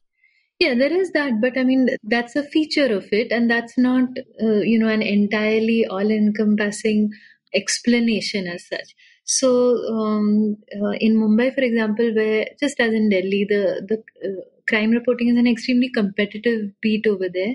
A crime reporter would easily have five, six stories available to file every day. So uh, you know they're not uh, short on the stories to file. They don't necessarily need to file all of them. They have enough stuff always. No, it's just that we've made this uh, and editors know this very well because you know uh, most editors are very friendly with senior police as well. We've just made this an acceptable form of journalism. Most beginning crime reporters, your job is to go hang around the police station and then faithfully report whatever the key FIRs of that day are. We haven't gone into it. You know, asking someone to take 10 days and corroborate from multiple places is another thing. We haven't even said, get, if you're reporting on an FIR, speak to the complainant we haven't even started from there. Let the accused person get their side of it. We've made it an acceptable practice for just the FIR to become uh, a statement of fact. So yeah, in the in the high profile ones, we we saw that, but I, you know, I when I was at the Times of India in Mumbai, there was a shift thing that used to come to us every few weeks, which is that you would have to be the day shift reporter or the night shift reporter. No matter what your regular beat was, you'd have to do it in rotation every few weeks, which is your job would be to basically in Bombay, if a building fell down, you would have to go and cover it because you know that happens all the time. So, who are you going to assign? You can't have a building falling down reporter. You need to assign someone who's just free to do the running around for the day. And your job was to call key police stations every few hours and check what's happening, the fire department. You know, in no way have we made it you know, when I used to see those briefs that would come in from the cops also, there was just stuff that was clearly an issue, or you could see that it was a script because you'd. This is one of the things I find a lot in um, uh, even in reporting on court judgments is that cops in India follow a script so regularly about uh, for a particular IPC section. So, for example, on suicides in Mumbai, I remember on this press notes they would regularly say um, uh, "Azar Panala Kantaun," which is um, uh, tired of his illness. And you'd immediately think wow uh, you know i'm sure there's more to it. Maybe the person couldn't pay for it or you know it, it means almost like a bored of something. and the, uh, um, so what was it? Was it was it what illness was this? Was was it tb are people still having to kill themselves? You know as people still being driven to suicide by tb was it what illnesses are bankrupting people? There's so much more that needed to come out of that. But um, you know yeah that that's how it was reported by the cops and then duly and faithfully reported by crime reporters as well even the um, the sexual assault investigation that i ended up doing in delhi's district courts came out of regularly reading in the newspapers in the days after the 2012 uh, Delhi rape, uh, regularly reading a girl was uh, uh kidnapped in a busy market and uh, given a sedative laced cold drink. And I started seeing this so often, or pulled into a moving car. I started seeing this so often, I really started wondering about this sedative laced cold drink. Like, is it an issue? Should we now be careful that, you know, there's some sort of adulteration in cold drinks going on? and this moving car business at that time you know i lived with flatmates in delhi uh, it used to terrify my mother to think that there are these moving cars just constantly pulling people and girls into cars so that's what i mean it, the, looking into it came as a result of me myself making my own assessments about delhi and my own safety from newspaper articles that were essentially uh, faithfully reproducing firs that it turned out had much more to do with parental criminalization of uh, consensual, often uh, interreligious and intercaste relationships than anything else. And it was such a fundamental disservice to everything, to the city itself, that that this kind of reporting was forming the basis of our judgments about everything. I mean, I felt that maybe I shouldn't be going out that much. Maybe I shouldn't be living in Delhi anymore. It, it um, that that's what started me looking at it and reporting on it at all. So they weren't moving cars. So this was basically parents are pissed off that their daughter's going in for an interreligious or whatever, and then they file a case, and they, right. then the FIR has moving car. Wow, that's incredible. Okay, so my larger the um, sedative laced cold drink was usually the hallmark of that because you needed to say how this boy was able to kidnap her from a crowded market. There was a sedative laced cold drink, so that that's that's where the and there was um, I looked at 650 cases in all, and I can't remember how many had sedative laced cold drinks in them. Many, uh, no cop was able to produce a single cold drink bottle in court, in even one.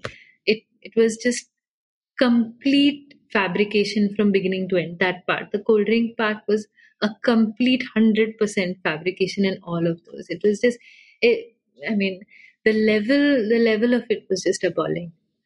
I mean, it's pretty mind blowing. I mean, I imagine the first person to put that in an FIR, you know, at least there you got to give them some credit for imagination and, you know, becomes a meme. Uh, so uh, perhaps must have been some Tamilian gentleman who made it a meme and, uh, you know, as you point out, their talent for that. So the larger question, which actually I want to make even larger and I want to kind of take data out of it because, you know, you've been a, a journalist for so long and have seen the whole industry so intimately. And my question simply is this what about India do journalists not understand?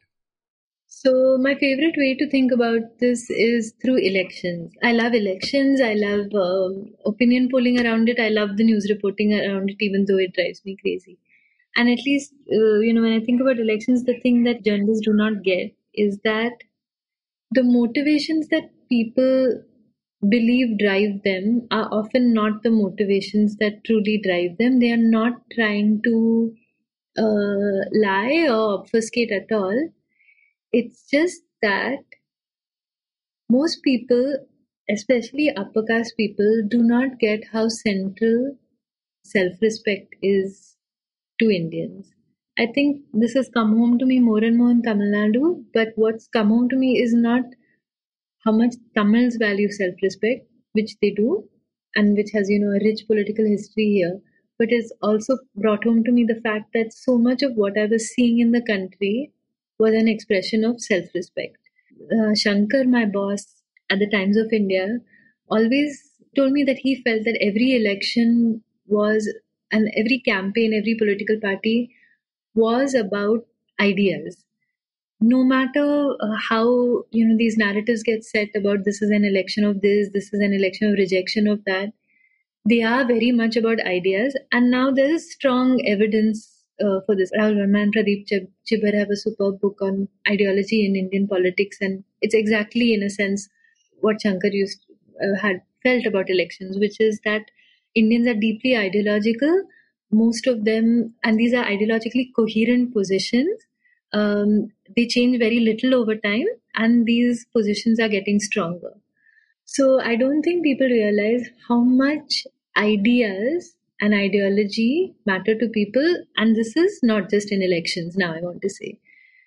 This apply this uh, i feel this even when people talk about um, about finance and about well household finance and uh, poverty which is failing to understand the motivations for why people spend money on the things they do is also a big issue with how uh, people fail to understand so much of the economy.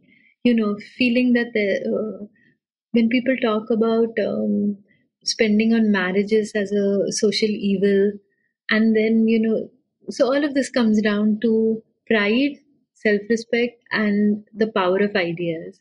And it doesn't take more than 10 minutes of involved talking to anybody to be, to anybody, to any Indian, to be so struck by, to feel so struck by how deeply they hold um, ideas. And it's just that just as you and i you know anyone who tries to talk to us in an involved way will will feel our passion for our ideas quickly.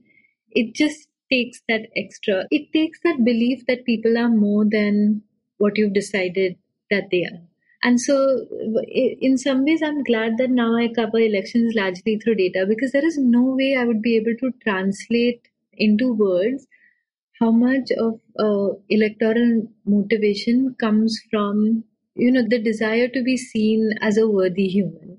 And this does explain a lot of why people vote along caste lines and it's not for the reasons that you that usually get reported as well. It explains um, uh, you know party commitments. So yeah you know you you'll always find this right? In in uh, if you decide to engage in a conversation with anyone it's always exciting to discover someone's um, passion right? You you you don't expect them that your ola driver is is deeply passionate about a movie star or about you know some, uh, a singer. Sometimes I, i'm in you know i've been in cabs in Chennai and been so amazed by the by young uh, boys who are huge fans of some particular uh, Hindi movie, and you know because they know that I'm not I'm not speaking Tamil uh, very well, they assume that I speak Hindi and you know want to know about that movie or that particular singer. It's usually something that's been released in the last few years, so I know nothing about it. But um, I love discovering people's passions in that way and and this is what most journalists miss that that most Indians are people of ideas.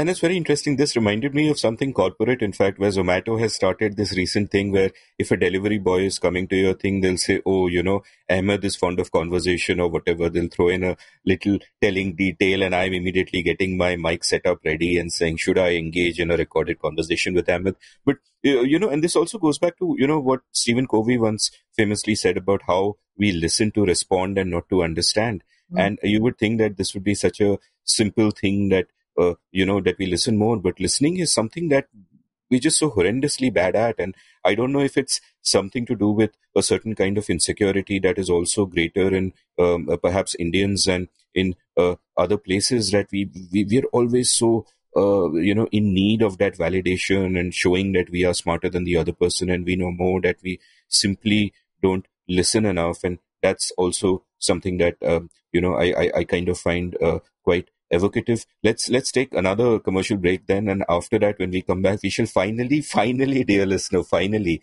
get started talking about your wonderful podcast, A Moving Curve and COVID. okay. Mm-hmm. On the seen and the unseen, I often speak about positive sum games. Well, if you want to be surrounded by beauty and you love fine art, I have a win-win proposition for you. Head on over to IndianColors.com. Indian Colors licenses images of fine art from some of the best contemporary artists in India and adapts them to objects of everyday use like tote bags, pouches, and home decor items. You get to surround yourself with the finest modern Indian art at affordable prices, and artists get royalties for every product you buy win-win game. The Indian Colors new range is in and includes elegant yet comfortable dresses for women and casual shirts for men with standout motifs by artists such as Tanmoy Samanta, Manisha Gera Baswani, Shruti Nelson, Pradeep Mishra, and Jaideep Mehrotra. Stay home, but dress smart. And if you're missing your friends in these lockdown days, worry not. You can show them you're thinking of them by buying gifts for them from Indian Colors. Corporate gifting is also available. So head on over to IndianColors.com, there's colors with an OU, and make art a part of your life. And hey, for a 15% discount, use the code UNSEEN. That's right, UNSEEN for 15% off at IndianColors.com. Welcome back to the seen and the unseen. I'm chatting with Rukmini S, remarkable data journalist, remarkable journalist, period, and also uh, the podcaster of uh, the Moving Curve. Tell me a little bit about what was the impetus behind starting this specific podcast. Like one of the things that I was struck by is that you know people often talk about journalism as the first draft of history, and what you know the Moving Curve seemed to do to me since it was a daily podcast and you know it's now twice a week is sort of actually almost document that in real time and it was so fascinating to kind of binge through it and uh, you know listen to the episodes because one can see your sort of understanding also evolve and the kind of questions that you ask and it, what made you think of starting it so I've I've always loved audio as a medium without ever having done anything in it at all. There was one point at which I sort of uh, I talked to someone about doing a podcast, and then I realized I had such clear ideas of what I wanted it to be and sound like, and you know, it didn't really. I I don't think I was very receptive to suggestions, and then it just you know fell by the wayside. Um, I listen to. I I mean, I don't listen to a ton of podcasts, but I do. I know I love it. I love it as a medium. The early days of the lockdown was so strange, right? We were all in such, all of us suspended in such strange uh, positions, you know, frozen and all all sorts of unusual outposts that I don't know if in in normal times I would have um, I would have done it. Um, at the, you know, it sort of felt like we were all on little boats out into the sea, and it was okay to send out these Morse code messages to each other, and you know, someone would listen to it and would feel nice uh, hearing uh, another sound, I would have felt much more self conscious if I really felt like this was, you know, if I thought of it as everybody in their houses or at their workplaces listening to it. So, what was happening in the early days is that we really were finding out everything about the virus so fast uh, every day. And there was not just news uh, to catch up on, there was also uh, research that I felt that I needed to uh, read academic research and understand it. And I felt like every day, at the end of the day, there was something that I was taking away from it. And I, I liked the feeling of maybe just saying it out to myself that this is what I felt that I had learned through the day.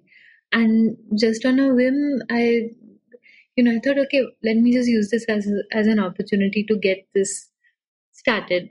And again, because I didn't think of it uh, too much, I actually uh, put it out because otherwise now I'm so scared of making any sort of commitments because my time is so scattered right now that if someone had approached me and said, "Would you like to do a hundred uh, episode podcast around the uh, pandemic?" I would have, you know, uh, I would have cried with fright and said no before I could even before they could have finished their question. Um, I li- I really like the fact that I did this entirely on my own terms, and that's the only way I would have done it at all. Otherwise, I really would have felt too scared to do it. And I don't feel, you know, I should feel embarrassed by the fact that some of it was so raw and figuring so many things out that are probably wrong now but i don't i don't really and it is from the sort of impulse that you're describing as you know um, first draft of history which is i feel like this is th- that hopefully that was an example of fairness that all i felt that i was going in was with a questioning mind and um, uh, seeing what my questions were uh, producing and then fairly reproducing that without uh, without making up my mind too strongly uh, you know more strongly than what the evidence was showing at least. Um, i hadn't even thought at the time that i was going to have guests on it because all of that would have felt like such a grandiose and pompous thing to to do for just something that i was uh, trying out for a few people who wanted to listen to uh, who, who might want to listen to it. But immediately i mean just a few days in i realized that i had questions that actually someone needed to answer that you know the information wasn't clearly available. And this is the part that's been really amazing to me. So people i already know i'm of course thankful that they come on this. But people in uh, government or people uh, similarly sort of experts who i haven't spoken to before because i don't cover science or even health that much them agreeing to speak to me and come on this is the truly unusual part and i suppose that's what demonstrates true commitment to to science the, that if somebody wants to know the science of it you're committed enough to go and talk to them about it. And the other thing that always felt intimidating to me is because I'm truly very, uh, you know, totally the opposite of being tech savvy. Um, I wouldn't have known how to do uh, any of it, you know. But this is where friends just have done things for me, and that's been great. So Anand Krishnamurthy, who does the sound for it, um, is is a very uh, well known, well regarded uh, person in audio, and it's you know I'm just he's a friend, and I'm hugely thankful that he's just doing this for me because he too likes podcasts and you know is is interested in this, and of course is doing it to um, help me out. So because of him, I even I even knew that okay, that now I have a sound file, then I have to put it out somewhere. Then another friend did the RSS feed part for me, which I truly know nothing about even now. He he did it. Another friend did the artwork for free because at some point that someone said put it on Apple Podcast. I oh God, how do I do that? And then Apple Podcast said original artwork. And then me like a complete dimwit, instead of just throwing together something on Canva, I was like, oh oh, that means someone has to create original artwork for me. So I went to an actual artist friend, Satvik Gade, who's a wonderful illustrator, and he very kindly you know came up with actual original artwork, which um, which truly seems excessive for for an endeavor of this size. But so yeah, it's still it's it's I enjoy it very much. And uh, you know, it's an indulgence. It's a very small thing. It has uh, you know very few, very small numbers, very few listeners. So um, I know I'm doing this for myself and because I enjoy it. But um, yeah, I, I kept thinking, was there going to be a time when I would have to start winding it down. Now that I've reached 100 episodes, should I just sort of call it off? But it's, I still enjoy it very much, so I'm going to continue doing it. No, no, it's it's lovely, and this whole story of this podcast is so incredibly inspiring. And a shout out to Anand Krishnamurthy, old friend of mine, and someone like you rightly said, he's a he's a big name in these circles, and Chennai. So for him to uh, do a podcast is just uh, shows you know his passion and his uh, kindness as well. A remarkable chap, and I love the artwork by the way. And you know why I said I find it inspiring, and you know I'm not being overly kind here, is uh, that you know when I spoke to you when we were sort of laying out the logistics for this particular recording, and I was so surprised to hear that you don't have a mic and all of that, that you do it on your phone and the load the kind of lo-fi way you've been doing it and, and people keep asking me about advice on how to start podcasts and there are two or three that have kind of helped uh, uh, bring into being and i'm in fact toying with the idea of teaching a course on okay. starting a podcast. And what i would you, you know say to everyone who is listening is that listen you do not need anything. Do not overthink it. Just jump into it. You know if there's something that you think you'll enjoy doing just kind of uh, you know jump into it. Don't overthink what is the mic i need and how will i edit it and you know and and uh, should it be 10 minutes or 12 minutes and all of that. And uh, i think people just need to kind of jump into stuff and let it find its own momentum. And congratulations on 100 episodes and the emergent ventures prize. It's it's all you know so incredibly inspiring. Let's now talk a little bit about sort of the subject matter. And like you said, when you started, and we were really in what one could call the fog of pandemic, mm-hmm. that you know everybody's trying to figure it out, and uh, you are sort of, in a sense, documenting your own intellectual journey through your podcast of figuring out uh, what's going on. So, you know, where did that quest begin? Like, mm-hmm. did you look at the way it was being reported and said, okay, these are the lacunae and these are the areas where I wish somebody was you know, looking at XYZ and hey, I'm going to do that. What's the available data at that time? How do you begin to make sense of it? There are so many models and projections also, uh, you know, going around. Where does one begin? What was your thinking in those early days when you kind of got into it?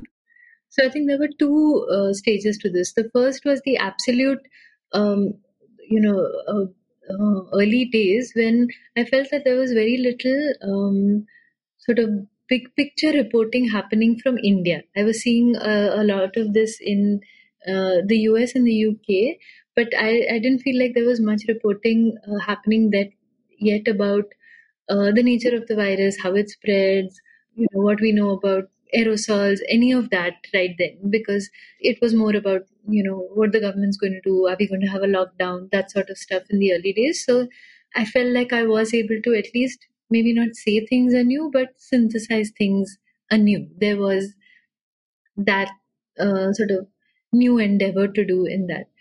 But then the other thing that ended up happening very quickly, and you know, I know this is a theme that I've talked about before as well, which is that I struggle a lot and think a lot about polarization, and it became very evident to me very quickly that that there were two uh, that this had once again become a left right thing and and it really bothered me deeply because it became very clear that for people on the left it was now becoming necessary to say that the Modi government was mishandling everything, that its testing strategy was not just conservative, but was also conservative to try to show low numbers, uh, that there was, you know, pseudoscience running amok, that uh, that there were soon going to be millions of deaths that was happening and then on the other side immediately that uh, the lockdown was an enormous success uh, the lockdown was going to make sure that we were not going to have any more cases you know there's the very memorable graph by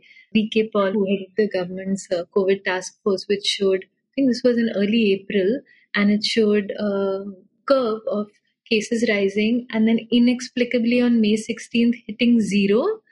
I mean, it just nosedived into an axis in in a way that you uh, rarely see any graph anywhere doing. So there was that sort of optimistic graph uh, storytelling as well, and um, uh, it was incredibly frustrating to me that this was again becoming a left-right thing, and I wanted to I wanted to talk about. Um, I'm not a science journalist, and I knew that there was very little of the science that I was going to uh, say anything meaningful about. I was listening and reading about it. The, I'm interested, even though I'm not a good science communicator, but I knew I wanted to talk about uh, the policy parts of it, and in a way that could get through this sort of frustrating left-right uh, situation that was already developing. So around uh, mortality, for example, they, uh, you know, at the point at which numbers became large enough to start sort of comparing with the rest of the world, it became clear that there was a larger story to tell about mortality, which included the fact that India does underreport uh, most deaths from most diseases, while uh, simultaneously reconciling with the fact that there did appear to be uh, lower COVID mortality in India than in some Western countries for reasons that needed to be understood and uh, analyzed. So I do remember feeling at that point that I absolutely had not seen. And this is where we talk about, you know, the lack of imagination and how to tell stories, right? You know, no one is going to pitch or get approval for an op-ed that says I'm going to I'm going to write an op-ed considering all the aspects of the mortality issue. News reporters never go in for a 360 thing anyway either. So so this became a sort of way to be able to talk about all of the different things that were happening on mortality. So yes, there there were a couple of very specific things that I felt that were that I was not hearing, or at least that I, you know, wanted to synthesize and be able to say. And you know, the polarization, the politics is something that you mentioned in, you know, a bunch of episodes. Episode 22 and 93 are about sort of the left right binaries. You know, you, uh, in episode 65, you handled, uh, you know, another political issue, the discussion around hydroxychloroquine. You spoke about the missing deaths in episode 80 and whether, you know, the understating of deaths could have sort of a political uh, impetus. And is there then from readers say i mean i know like thankfully you mentioned that you're not on social media all the time and all of that but is there also then a sense of frustration among some people that you're not uh, sort of that you're going into a level of nuance that doesn't really fit any of the easy narratives? You are you know kind of carving your own path through it. Was it that sense also kind of happening so i get that from my regular journalism a lot i get that sort of response uh, very often. So, for example, uh, you know, I got pushback after uh, in the very early days pre-lockdown as well. I wrote for Mint about uh, death statistics in general in India, so that you know the feeling of let's go into this pandemic with an understanding of how deaths get reported in India and where things might fall short. And you know, it was immediately. I mean, it's not uniform always, but there was some criticism of uh, that okay here you're already building a narrative that we're undercounting deaths or um, uh, uh, you know when i so i get that from my regular news reporting quite a bit and this is where you know as i said i don't have big numbers at all on, on the podcast and so what i feel is i will you know the podcast audience is uh, in some ways a new sort of pandemic community has built a little bit on social media as well. And many of them are scientists who are not epidemiologists, but who are sort of more amateur enthusiasts.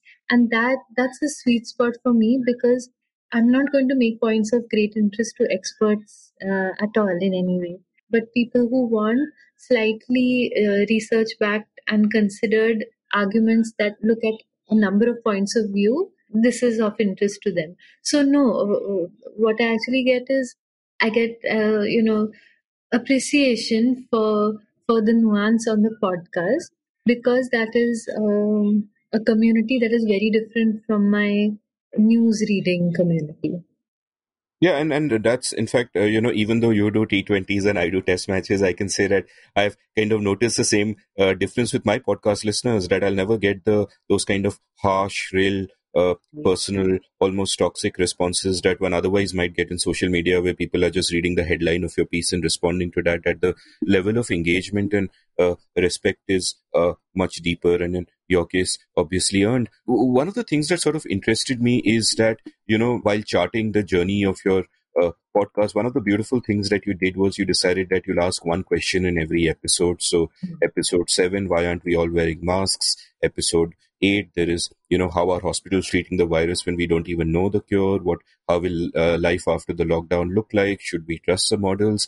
And so on and so forth. And it was interesting for me to see those questions evolve from sort of specific questions like around masks or around lockdowns and go to those deeper, broader questions as the series progressed. For example, in episode 20 and 21, you, uh, you know, worried about how through this COVID crisis, our rights and our privacies and all of all of those are sort of being eroded, and the danger of greater authoritarianism and the power of the state expanding. Tell me a little bit about sort of your uh, thinking on that, and do you feel that those worries are kind of borne out? What do we need to watch out for? What are the concrete signs that uh, you know citizens are being even more disempowered than they already were? Right. So the question part of it, I thought I was going, you know, I did feel like I was going into it uh, with a questioning mind. And I did feel like I was going and trying to answer a question each time. Uh, as it went on, I started worrying about whether this was going to become like an artifact that I was hanging on to.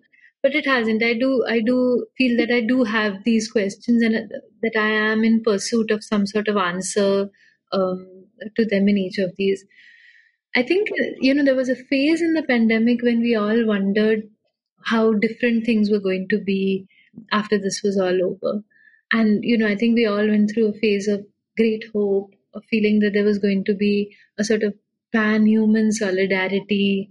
Then, you know, there were times when that evaporated and we worried if we were going to get into a, you know, huge surveillance when Aarogya Setu started, that was that was you know a real concern then. So all of those great hopes for great change, I think, have gone through their own waves and uh, dissipated a little. And I think what we're increasingly left with is that we're going to be left with a world not uh, dissimilar from what was there before, with some things having been made worse for the most vulnerable people. So, you know, what we're seeing is, for example, uh, you know, jobs beginning to return. But everywhere, people are seeing that working seniors are deeply struggling. Anyone with very little elbow room is struggling deeply. So, I don't think the sort of dystopian vision that we were also once having was that, you know, all of the worst in people was coming out, this sort of awful stigma that began at one point and you know it seemed like we were going to build the ghettos of our nightmares were now going to start coming up. I think that's all also giving way to pragmatism and that's not how how things are going to be like as well. But but i don't know i'm sure that there are going to be traumas from this period that are not going to go away easily. So for example you know i know it's it's extremely obvious, but having recently spoken to someone about it, that there have been 1 million deaths worldwide, right? So that is 1 million families, for the most part across the world, who were not able to get a final goodbye, even, right? That is an enormous sort of shared trauma that a truly large number of people have had to go through. The sort of terrifying fears of the lockdown, which are now, you know, now they're, they're a bit of a distant memory. I don't go out that much as well, but sometimes it's really something to remember, you know, that it was not allowed, you were not allowed to leave home. And uh, what that meant like for people, for anyone for whom home was not happy. Uh, again, I know someone uh, firsthand who lived an absolute nightmare through those days and um, that again is a huge cohort of people for whom that trauma of uh, living in you know imprisonment for those days is not going away. So I don't think that you know either our worst fears or our best hopes about the post-COVID world are going to come true, but but there are going to be uh, scars and cleavages and maybe even little sort of um, seedlings of better things that that will slowly make themselves apparent, not in any of the uh, terribly obvious ways that we had uh, once wondered about. But it's going to be that that part's going to be interesting to see how that changes. Um, you know, for example, one of the things that happened was a big change in the number of hours of unpaid housework that uh, men began to do, and that that gap has narrowed significantly now. But if that gap you know still that space remains then that is still a fundamental shift in society and what that means for the next 30 years. Because if that slight incremental if we don't go back to that little bit of the old normal that's still that's still something. So yeah it's it's i don't think that there's going to be you know dramatic changes from what happened but uh, but you know, a series of uh, small and maybe even unknowable as of now changes. I mean, just thinking aloud, it strikes me that what happened to all of us very suddenly when all of this happened was that we were sort of, um, you know, uh, living with complacence in the inertia of the cocoon of that normality which we had built around ourselves. And, and by breaking us out of that, we were all forced to examine deeper truths of different kinds. Maybe it could be that you cannot stand the person you're living with. Maybe it could be that you discover new things about them and fall in love all over again, mm-hmm. or whatever. In various different ways, we kind of broke out of you know the different uh, uh, cocoons we might have uh, created which were perhaps set in our everyday routines and all of that the other thing i want to ask you about and i guess you'd uh, I, I think you'd have insight on that in a different context also and not just covid is when you were talking about you know fears of the uh, surveillance of the state and all of that and it struck me that the one thing that saves us uh, from even greater oppression by the state is the incompetence of the state. Because the state typically just does it doesn't have state capacity. There isn't much uh, uh, depth and nuance to what they do. The tools with which they oppress are blunt tools. And many of these high-tech tools of surveillance and even using Aarogya Setu in meaningfully oppressive ways uh, is possibly beyond the state now in a larger context is that true because of course you have to uh, you know, I'm sure you've thought very deeply about your relationship with the state because uh, in a lot of cases you're depending on data from the state. And sometimes you've pointed out before, you realize that the, it's not that the, the bad data is necessarily malign. It is just incompetent. And, and what, what are your sort of thoughts on this? Yeah, I, I find myself saying this a lot to people a lot, which is that uh, so much of what is imagined to be malice is actually uh, incompetence. And I, uh, you know, this is a recurring theme through reporting and through reporting on data as well. And, you know, assuming malafide is something that bothers me when people are talking about people that they are ideologically opposed to. Again, this is something that I felt that uh, marked some of the criticism of the government's handling of COVID as well, which is uh, frequently assuming malafide intentions when I don't think it called for that. You know, assuming suppression of numbers uh, when when the sheer uh, capacity to count properly, uh, you know, did not exist. Uh, assuming that um, the government was trying was you know keep reducing tests so that it uh, wouldn't discover more cases. When I feel they just did not have the capacity to conduct more tests then, and similarly.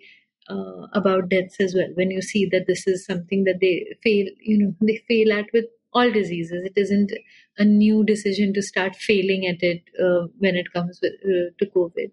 So um, uh, this is true, but I should also, you know, uh, sometimes I make this such a I make such a point of this that I don't want to sort of fall in love with my own point and get carried away with it as well. I do think I do this about the government and incompetence, and occasionally journalists prove malice, and uh, it's great when they do that because uh, it reminds me then that I shouldn't I shouldn't assume that the um, uh, bumbling Lathiwala uh, cop is the Indian state. It's not true at all. There's a sort of lovable awfulness to that, but that's not uh, true.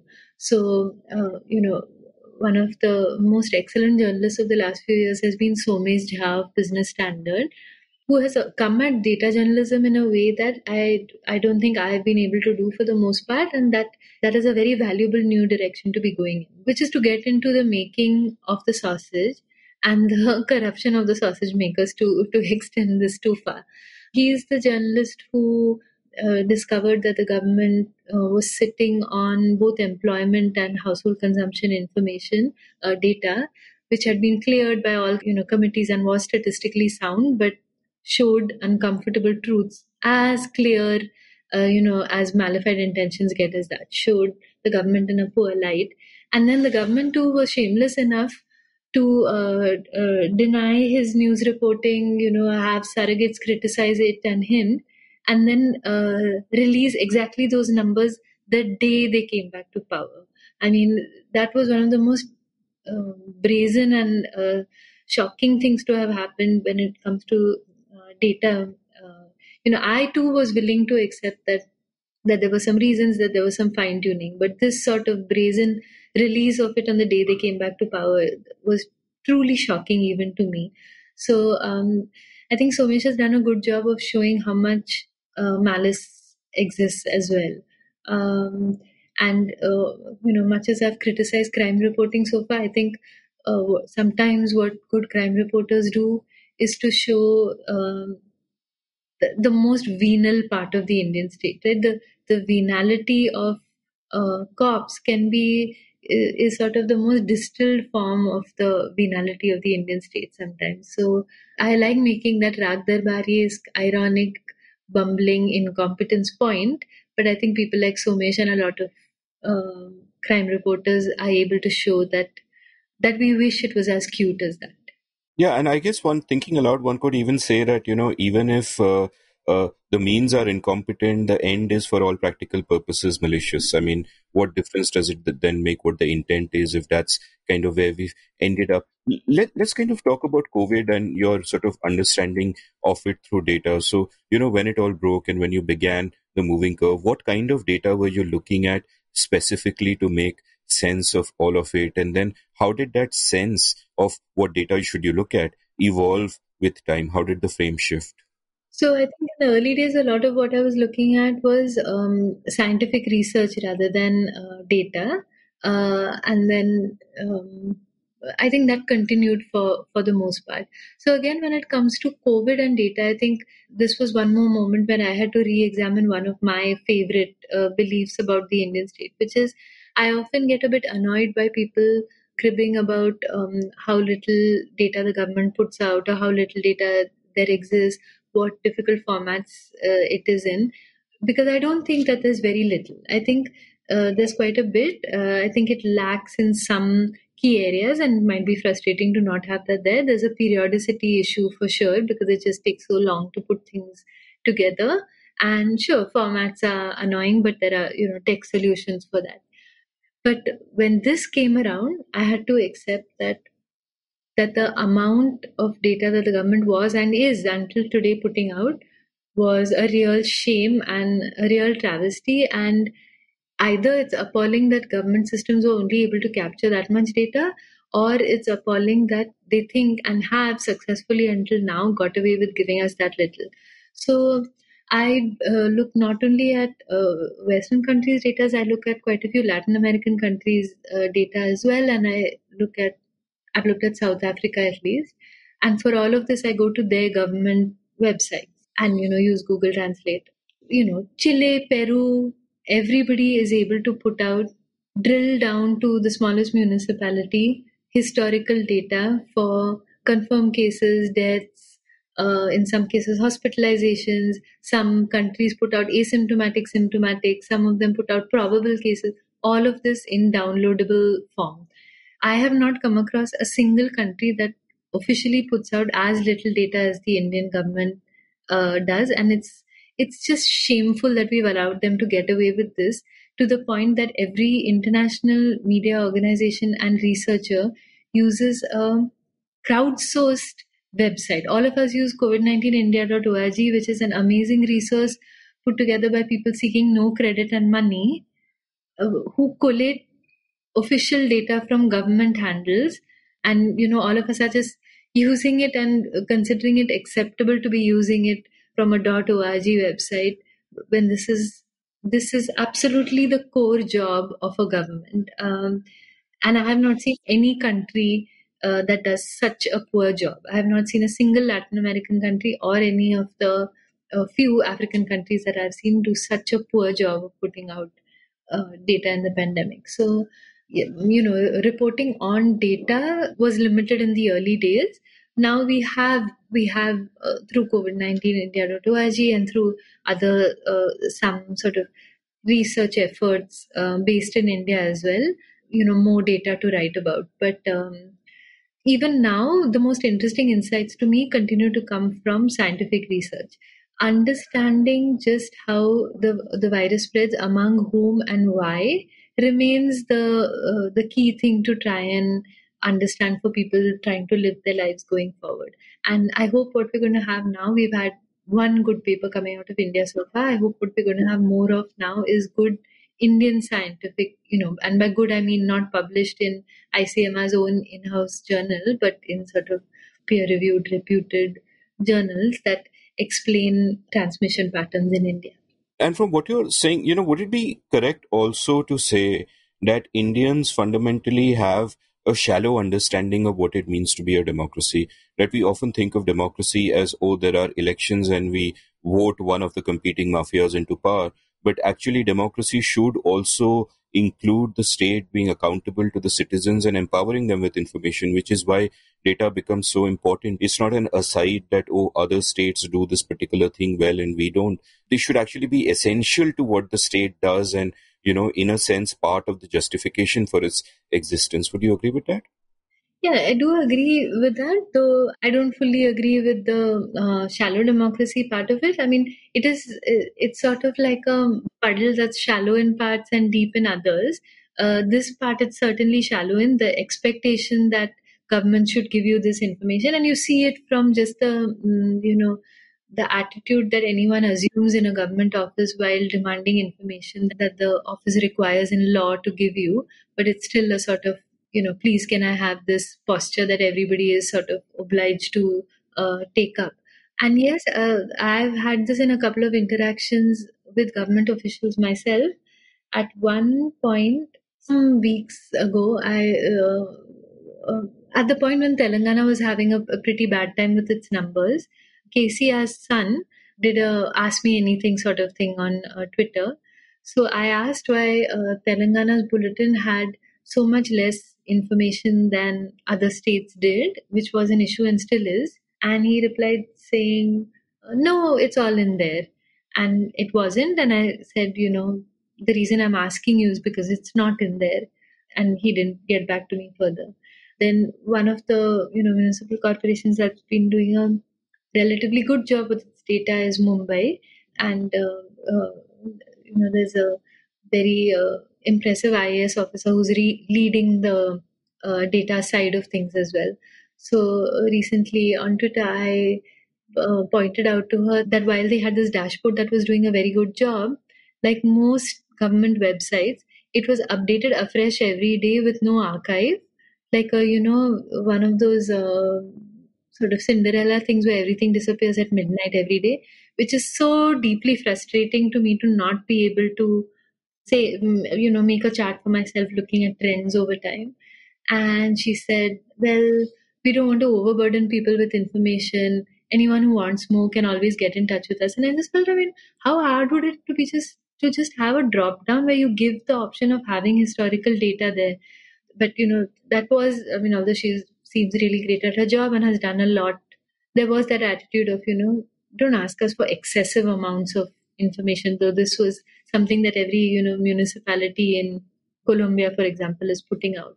There's another official in Bangalore as well who's really very good on data and very good at sharing as well. But um, uh, one of the things that India has been doing, that many Indian states are doing, which is quite unusual, is doing much more rapid antigen tests than the sort of gold standard RT-PCR test. There's ways to argue it either way. It's a, it's a discussion to be had. And one of the things that you know would be very valuable to have is the relative positivity rates for antigen test versus RT-PCR, and no state is putting out that information. Mumbai puts it out in a graph, and when I asked for it in uh, Excel form, I was told, you know, that's an excessive amount of information to ask for. And similarly, the Bangalore person was not happy to be asked about it. Uh, said Delhi doesn't put it out. Uh, how many columns can we put in every page? So yeah there is that information that attitude even among the relatively uh, the ones who are putting out much more data than you're used to getting from and are much more responsive than you're used to government officials of you know don't like don't push this so far now don't ask for like excel sheets you know the, the it's pretty good how far we're getting so uh, definitely that attitude of anything more than sort of the headline number is a favor we're doing for you Yeah. you know, one of the things I sort of noticed through the series is that it is, of course, not just about COVID.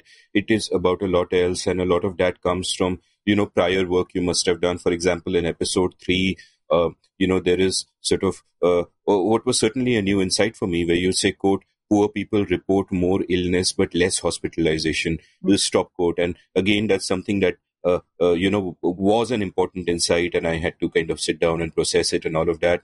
And equally, you've touched on many sort of larger issues like what would COVID mean for India's women in episode 47, Dalits in episode 46, children in episode 70. In fact, you, you had multiple episodes where you've looked at the impacts on uh, parents and children. Now, you know, one thing that is often said, you know, Orwell has spoken about the link between writing and thinking, and uh, one saw that is often given is that just forcing yourself to write clearly forces you to think more clearly. And one of the things that sort of struck me was that by the end of the series, and of course it hasn't ended, but you know, uh, at episode 99 where we are and just uh, uh touching 100, what struck me was that you've gone in there asking questions as a generalist, which all journalists are in a sense, they're generalists. But have you then, by asking questions repeatedly, repeatedly, repeatedly, looking at the data, looking at the research, in a manner of speaking, transformed yourself into an expert of sorts also? Just has the process of reporting on something for so long, which uh, such depth, enhanced your understanding of the subject uh, kind of massively? What I definitely feel it has done is expose me to a much wider range of uh, perspectives than uh, would have come to me normally. Yes, I do think that some of the that you know the the complete uh, cluelessness of the early days has been uh, replaced with some baseline understanding. But uh, this is the thing; it's every day continues to bring in very key fundamental, not esoteric aspects of it at all, very key fundamental parts that I have no, not the slightest answer to, to the point that when I begin by asking the question, it's, I'm really not being cute. I actually don't know. So, for example, right now, if, you know, if I would like to fashion myself as some sort of expert now, I should be able to say in at least one line, why have the cases started reducing from mid September? And because I haven't worked on it for an episode, I have no clue. I wouldn't be able to answer it in a single word. I have not one word of explanation for why this is. So, no, I, I, I would only feel that I'm able to say much more about the things that I have looked at, but I don't feel any closer to feeling that I understand uh, I don't understand why it's spread more widely in some places than others. I haven't seen convincing explanations for the most basic things. And this is one more thing where we, you know, you, I, I would come back to journalism, uh, regular sort of mainstream journalism, which is how how is it that I haven't in any news publication yet seen, forget an answer, at least an attempt at answering, why did Pune have so many cases? I mean, why did Pune district have like four and a half thousand cases per day at a point? Why did Pune city have over 2000 cases for so many days? There's no good, you know, forget good explanation. I can't see anything that got anywhere near answering that. Then why did um, Punjab have such incredibly high mortality for a period? And you know the numbers in Punjab are still not numbers I properly understand. And then again, the news reporting says things like rumors spread on WhatsApp about um, you know treatments or some. I mean, rumors spread on WhatsApp everywhere in the country. There's no way to understand why, in particular in Punjab, this is what happened. Uh, why are Bihar's numbers so low? I mean, it has to go beyond just uh, low population density because that, that so you know no one has this is i just don't know if people are going in with clearly questioning minds because if you can start with a position of humility, of accepting that there is a big central question that you have no idea what the answer to it is, maybe that would help you uh, a frame uh, questions that people actually want the answers to, and then we get any closer to to answering them rather than regurgitating what some expert panel is saying. So there is some government expert panel that's saying, you know, this September was a peak and things will taper off by Feb, with no convincing explanation of why this has happened now so yeah i don't i don't feel uh, at all uh, able to answer those things and i don't see the attempt to answering it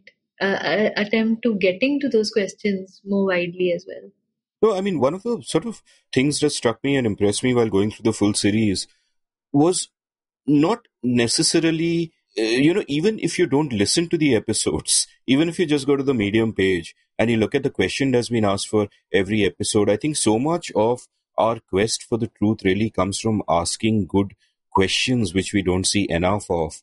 And, you know, you've asked you know, almost every episode has interesting questions like episode 71. What does the lockdown's disruption in health services mean for the health of Indians now in general? 72. What is it like to deal with COVID 19 in rural India?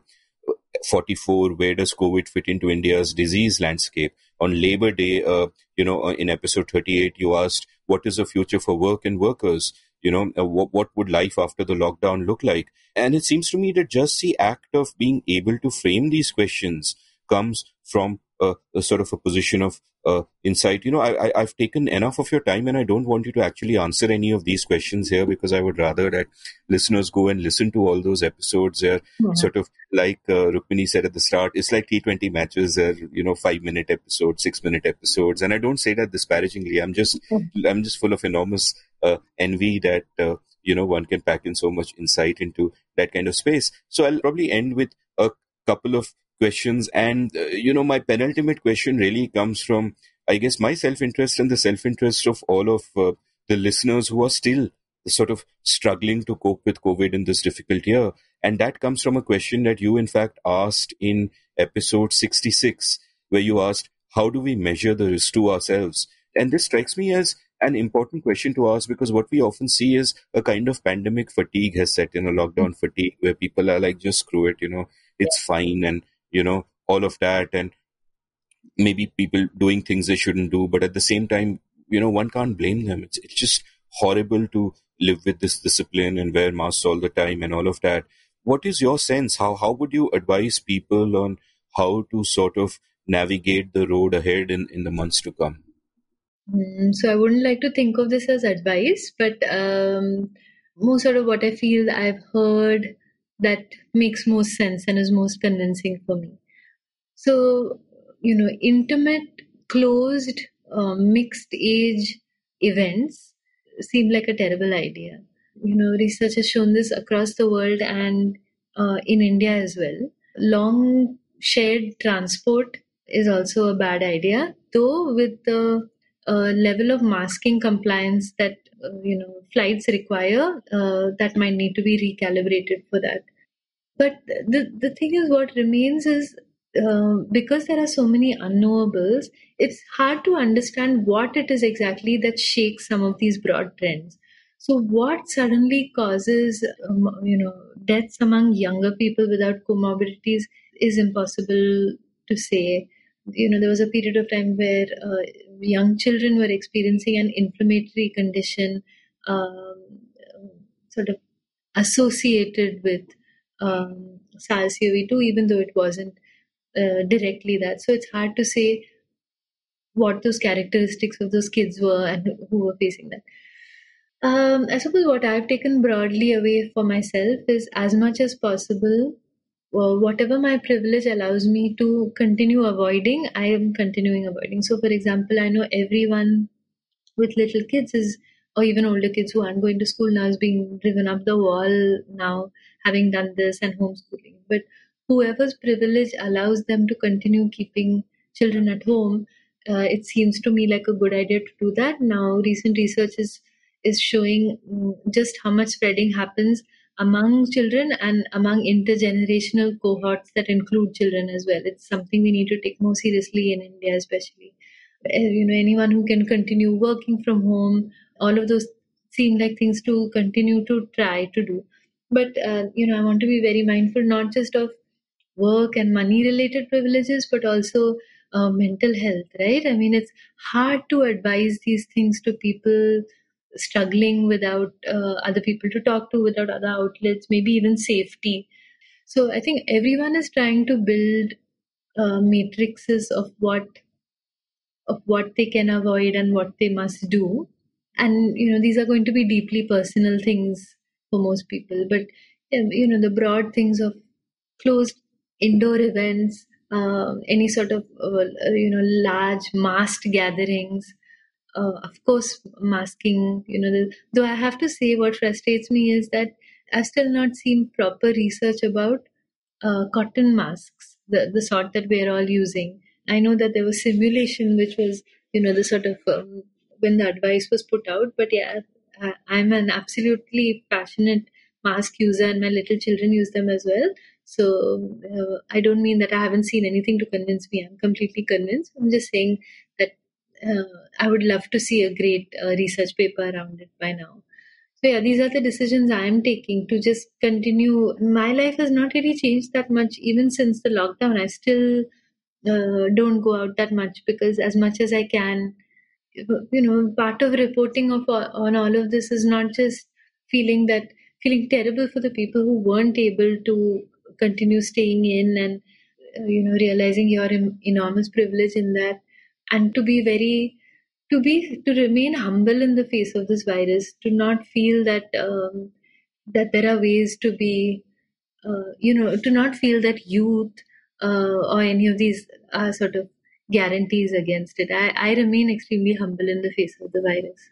Very wise words. And now my final question which is uh, you know, almost a bit of a cliche to my listeners, I think, but I have to ask it. And especially in your sense, since, you know, your amazing journalism has given you such, uh, or at least has caused you to think so deeply about our democracy and our society. If I ask you to, say, look ahead to 2030, uh, away from this cursed year 2020, and look ahead to 2030, uh, what gives you hope and what gives you despair about what our country, our society, our democracy could uh, is going through and could go through in this time? I see this, I hope it remains true. So, what gives me hope is that I see enormous uh, transformational power among people who fall in love. It amazes me the, um, I mean, first of all, the amount of love I see around, and I mean this in a sort of, you know, um, uh, romantic love among uh, young people that sort of it's incredible i mean people are on the phone with each other all the time and finding places and the power to take radical decisions around being in love is really quite something. I see i see it quite a bit.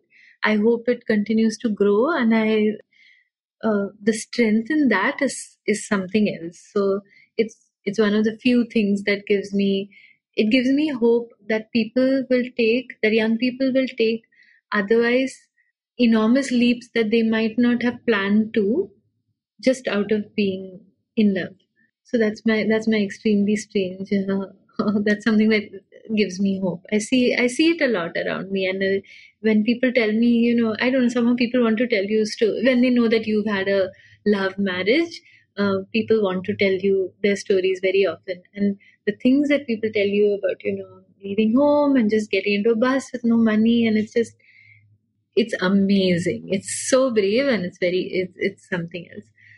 Uh, so that gives me hope. And the immense uh, self-respect and pride that young people have, much more than every generation, increasingly so, uh, gives me hope.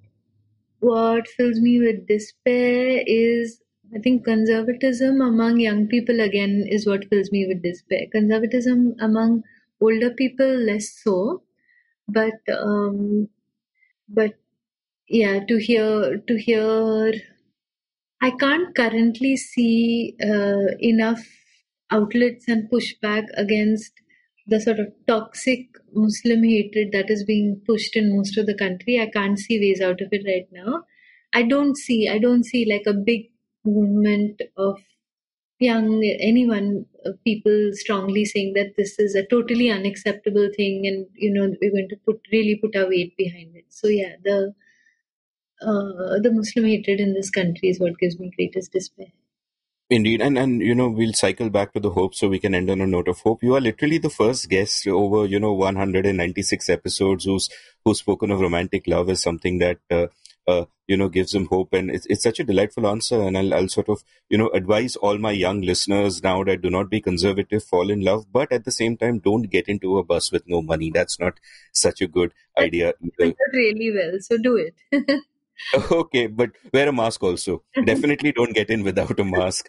Uh, Rukmini, thank you so much for being so patient uh, with your time and so generous with your insights. It was so amazing having a podcaster like yourself. Having a T20 star in a test match is so delightful. thank you so much. A huge pleasure, and thank you to your listeners. If you enjoyed listening to this episode, do head on over to the show notes where I've linked Rukmini's exceptional podcast, The Moving Curve, and you will also find a lot of her journalism over there. You can follow Rukmini on Twitter at Rukmini. You can follow me at Amit Varma, A-M-I-T-V-A-R-M-A. You can browse past episodes of The Seen and the Unseen at seenunseen.in. Thank you for listening.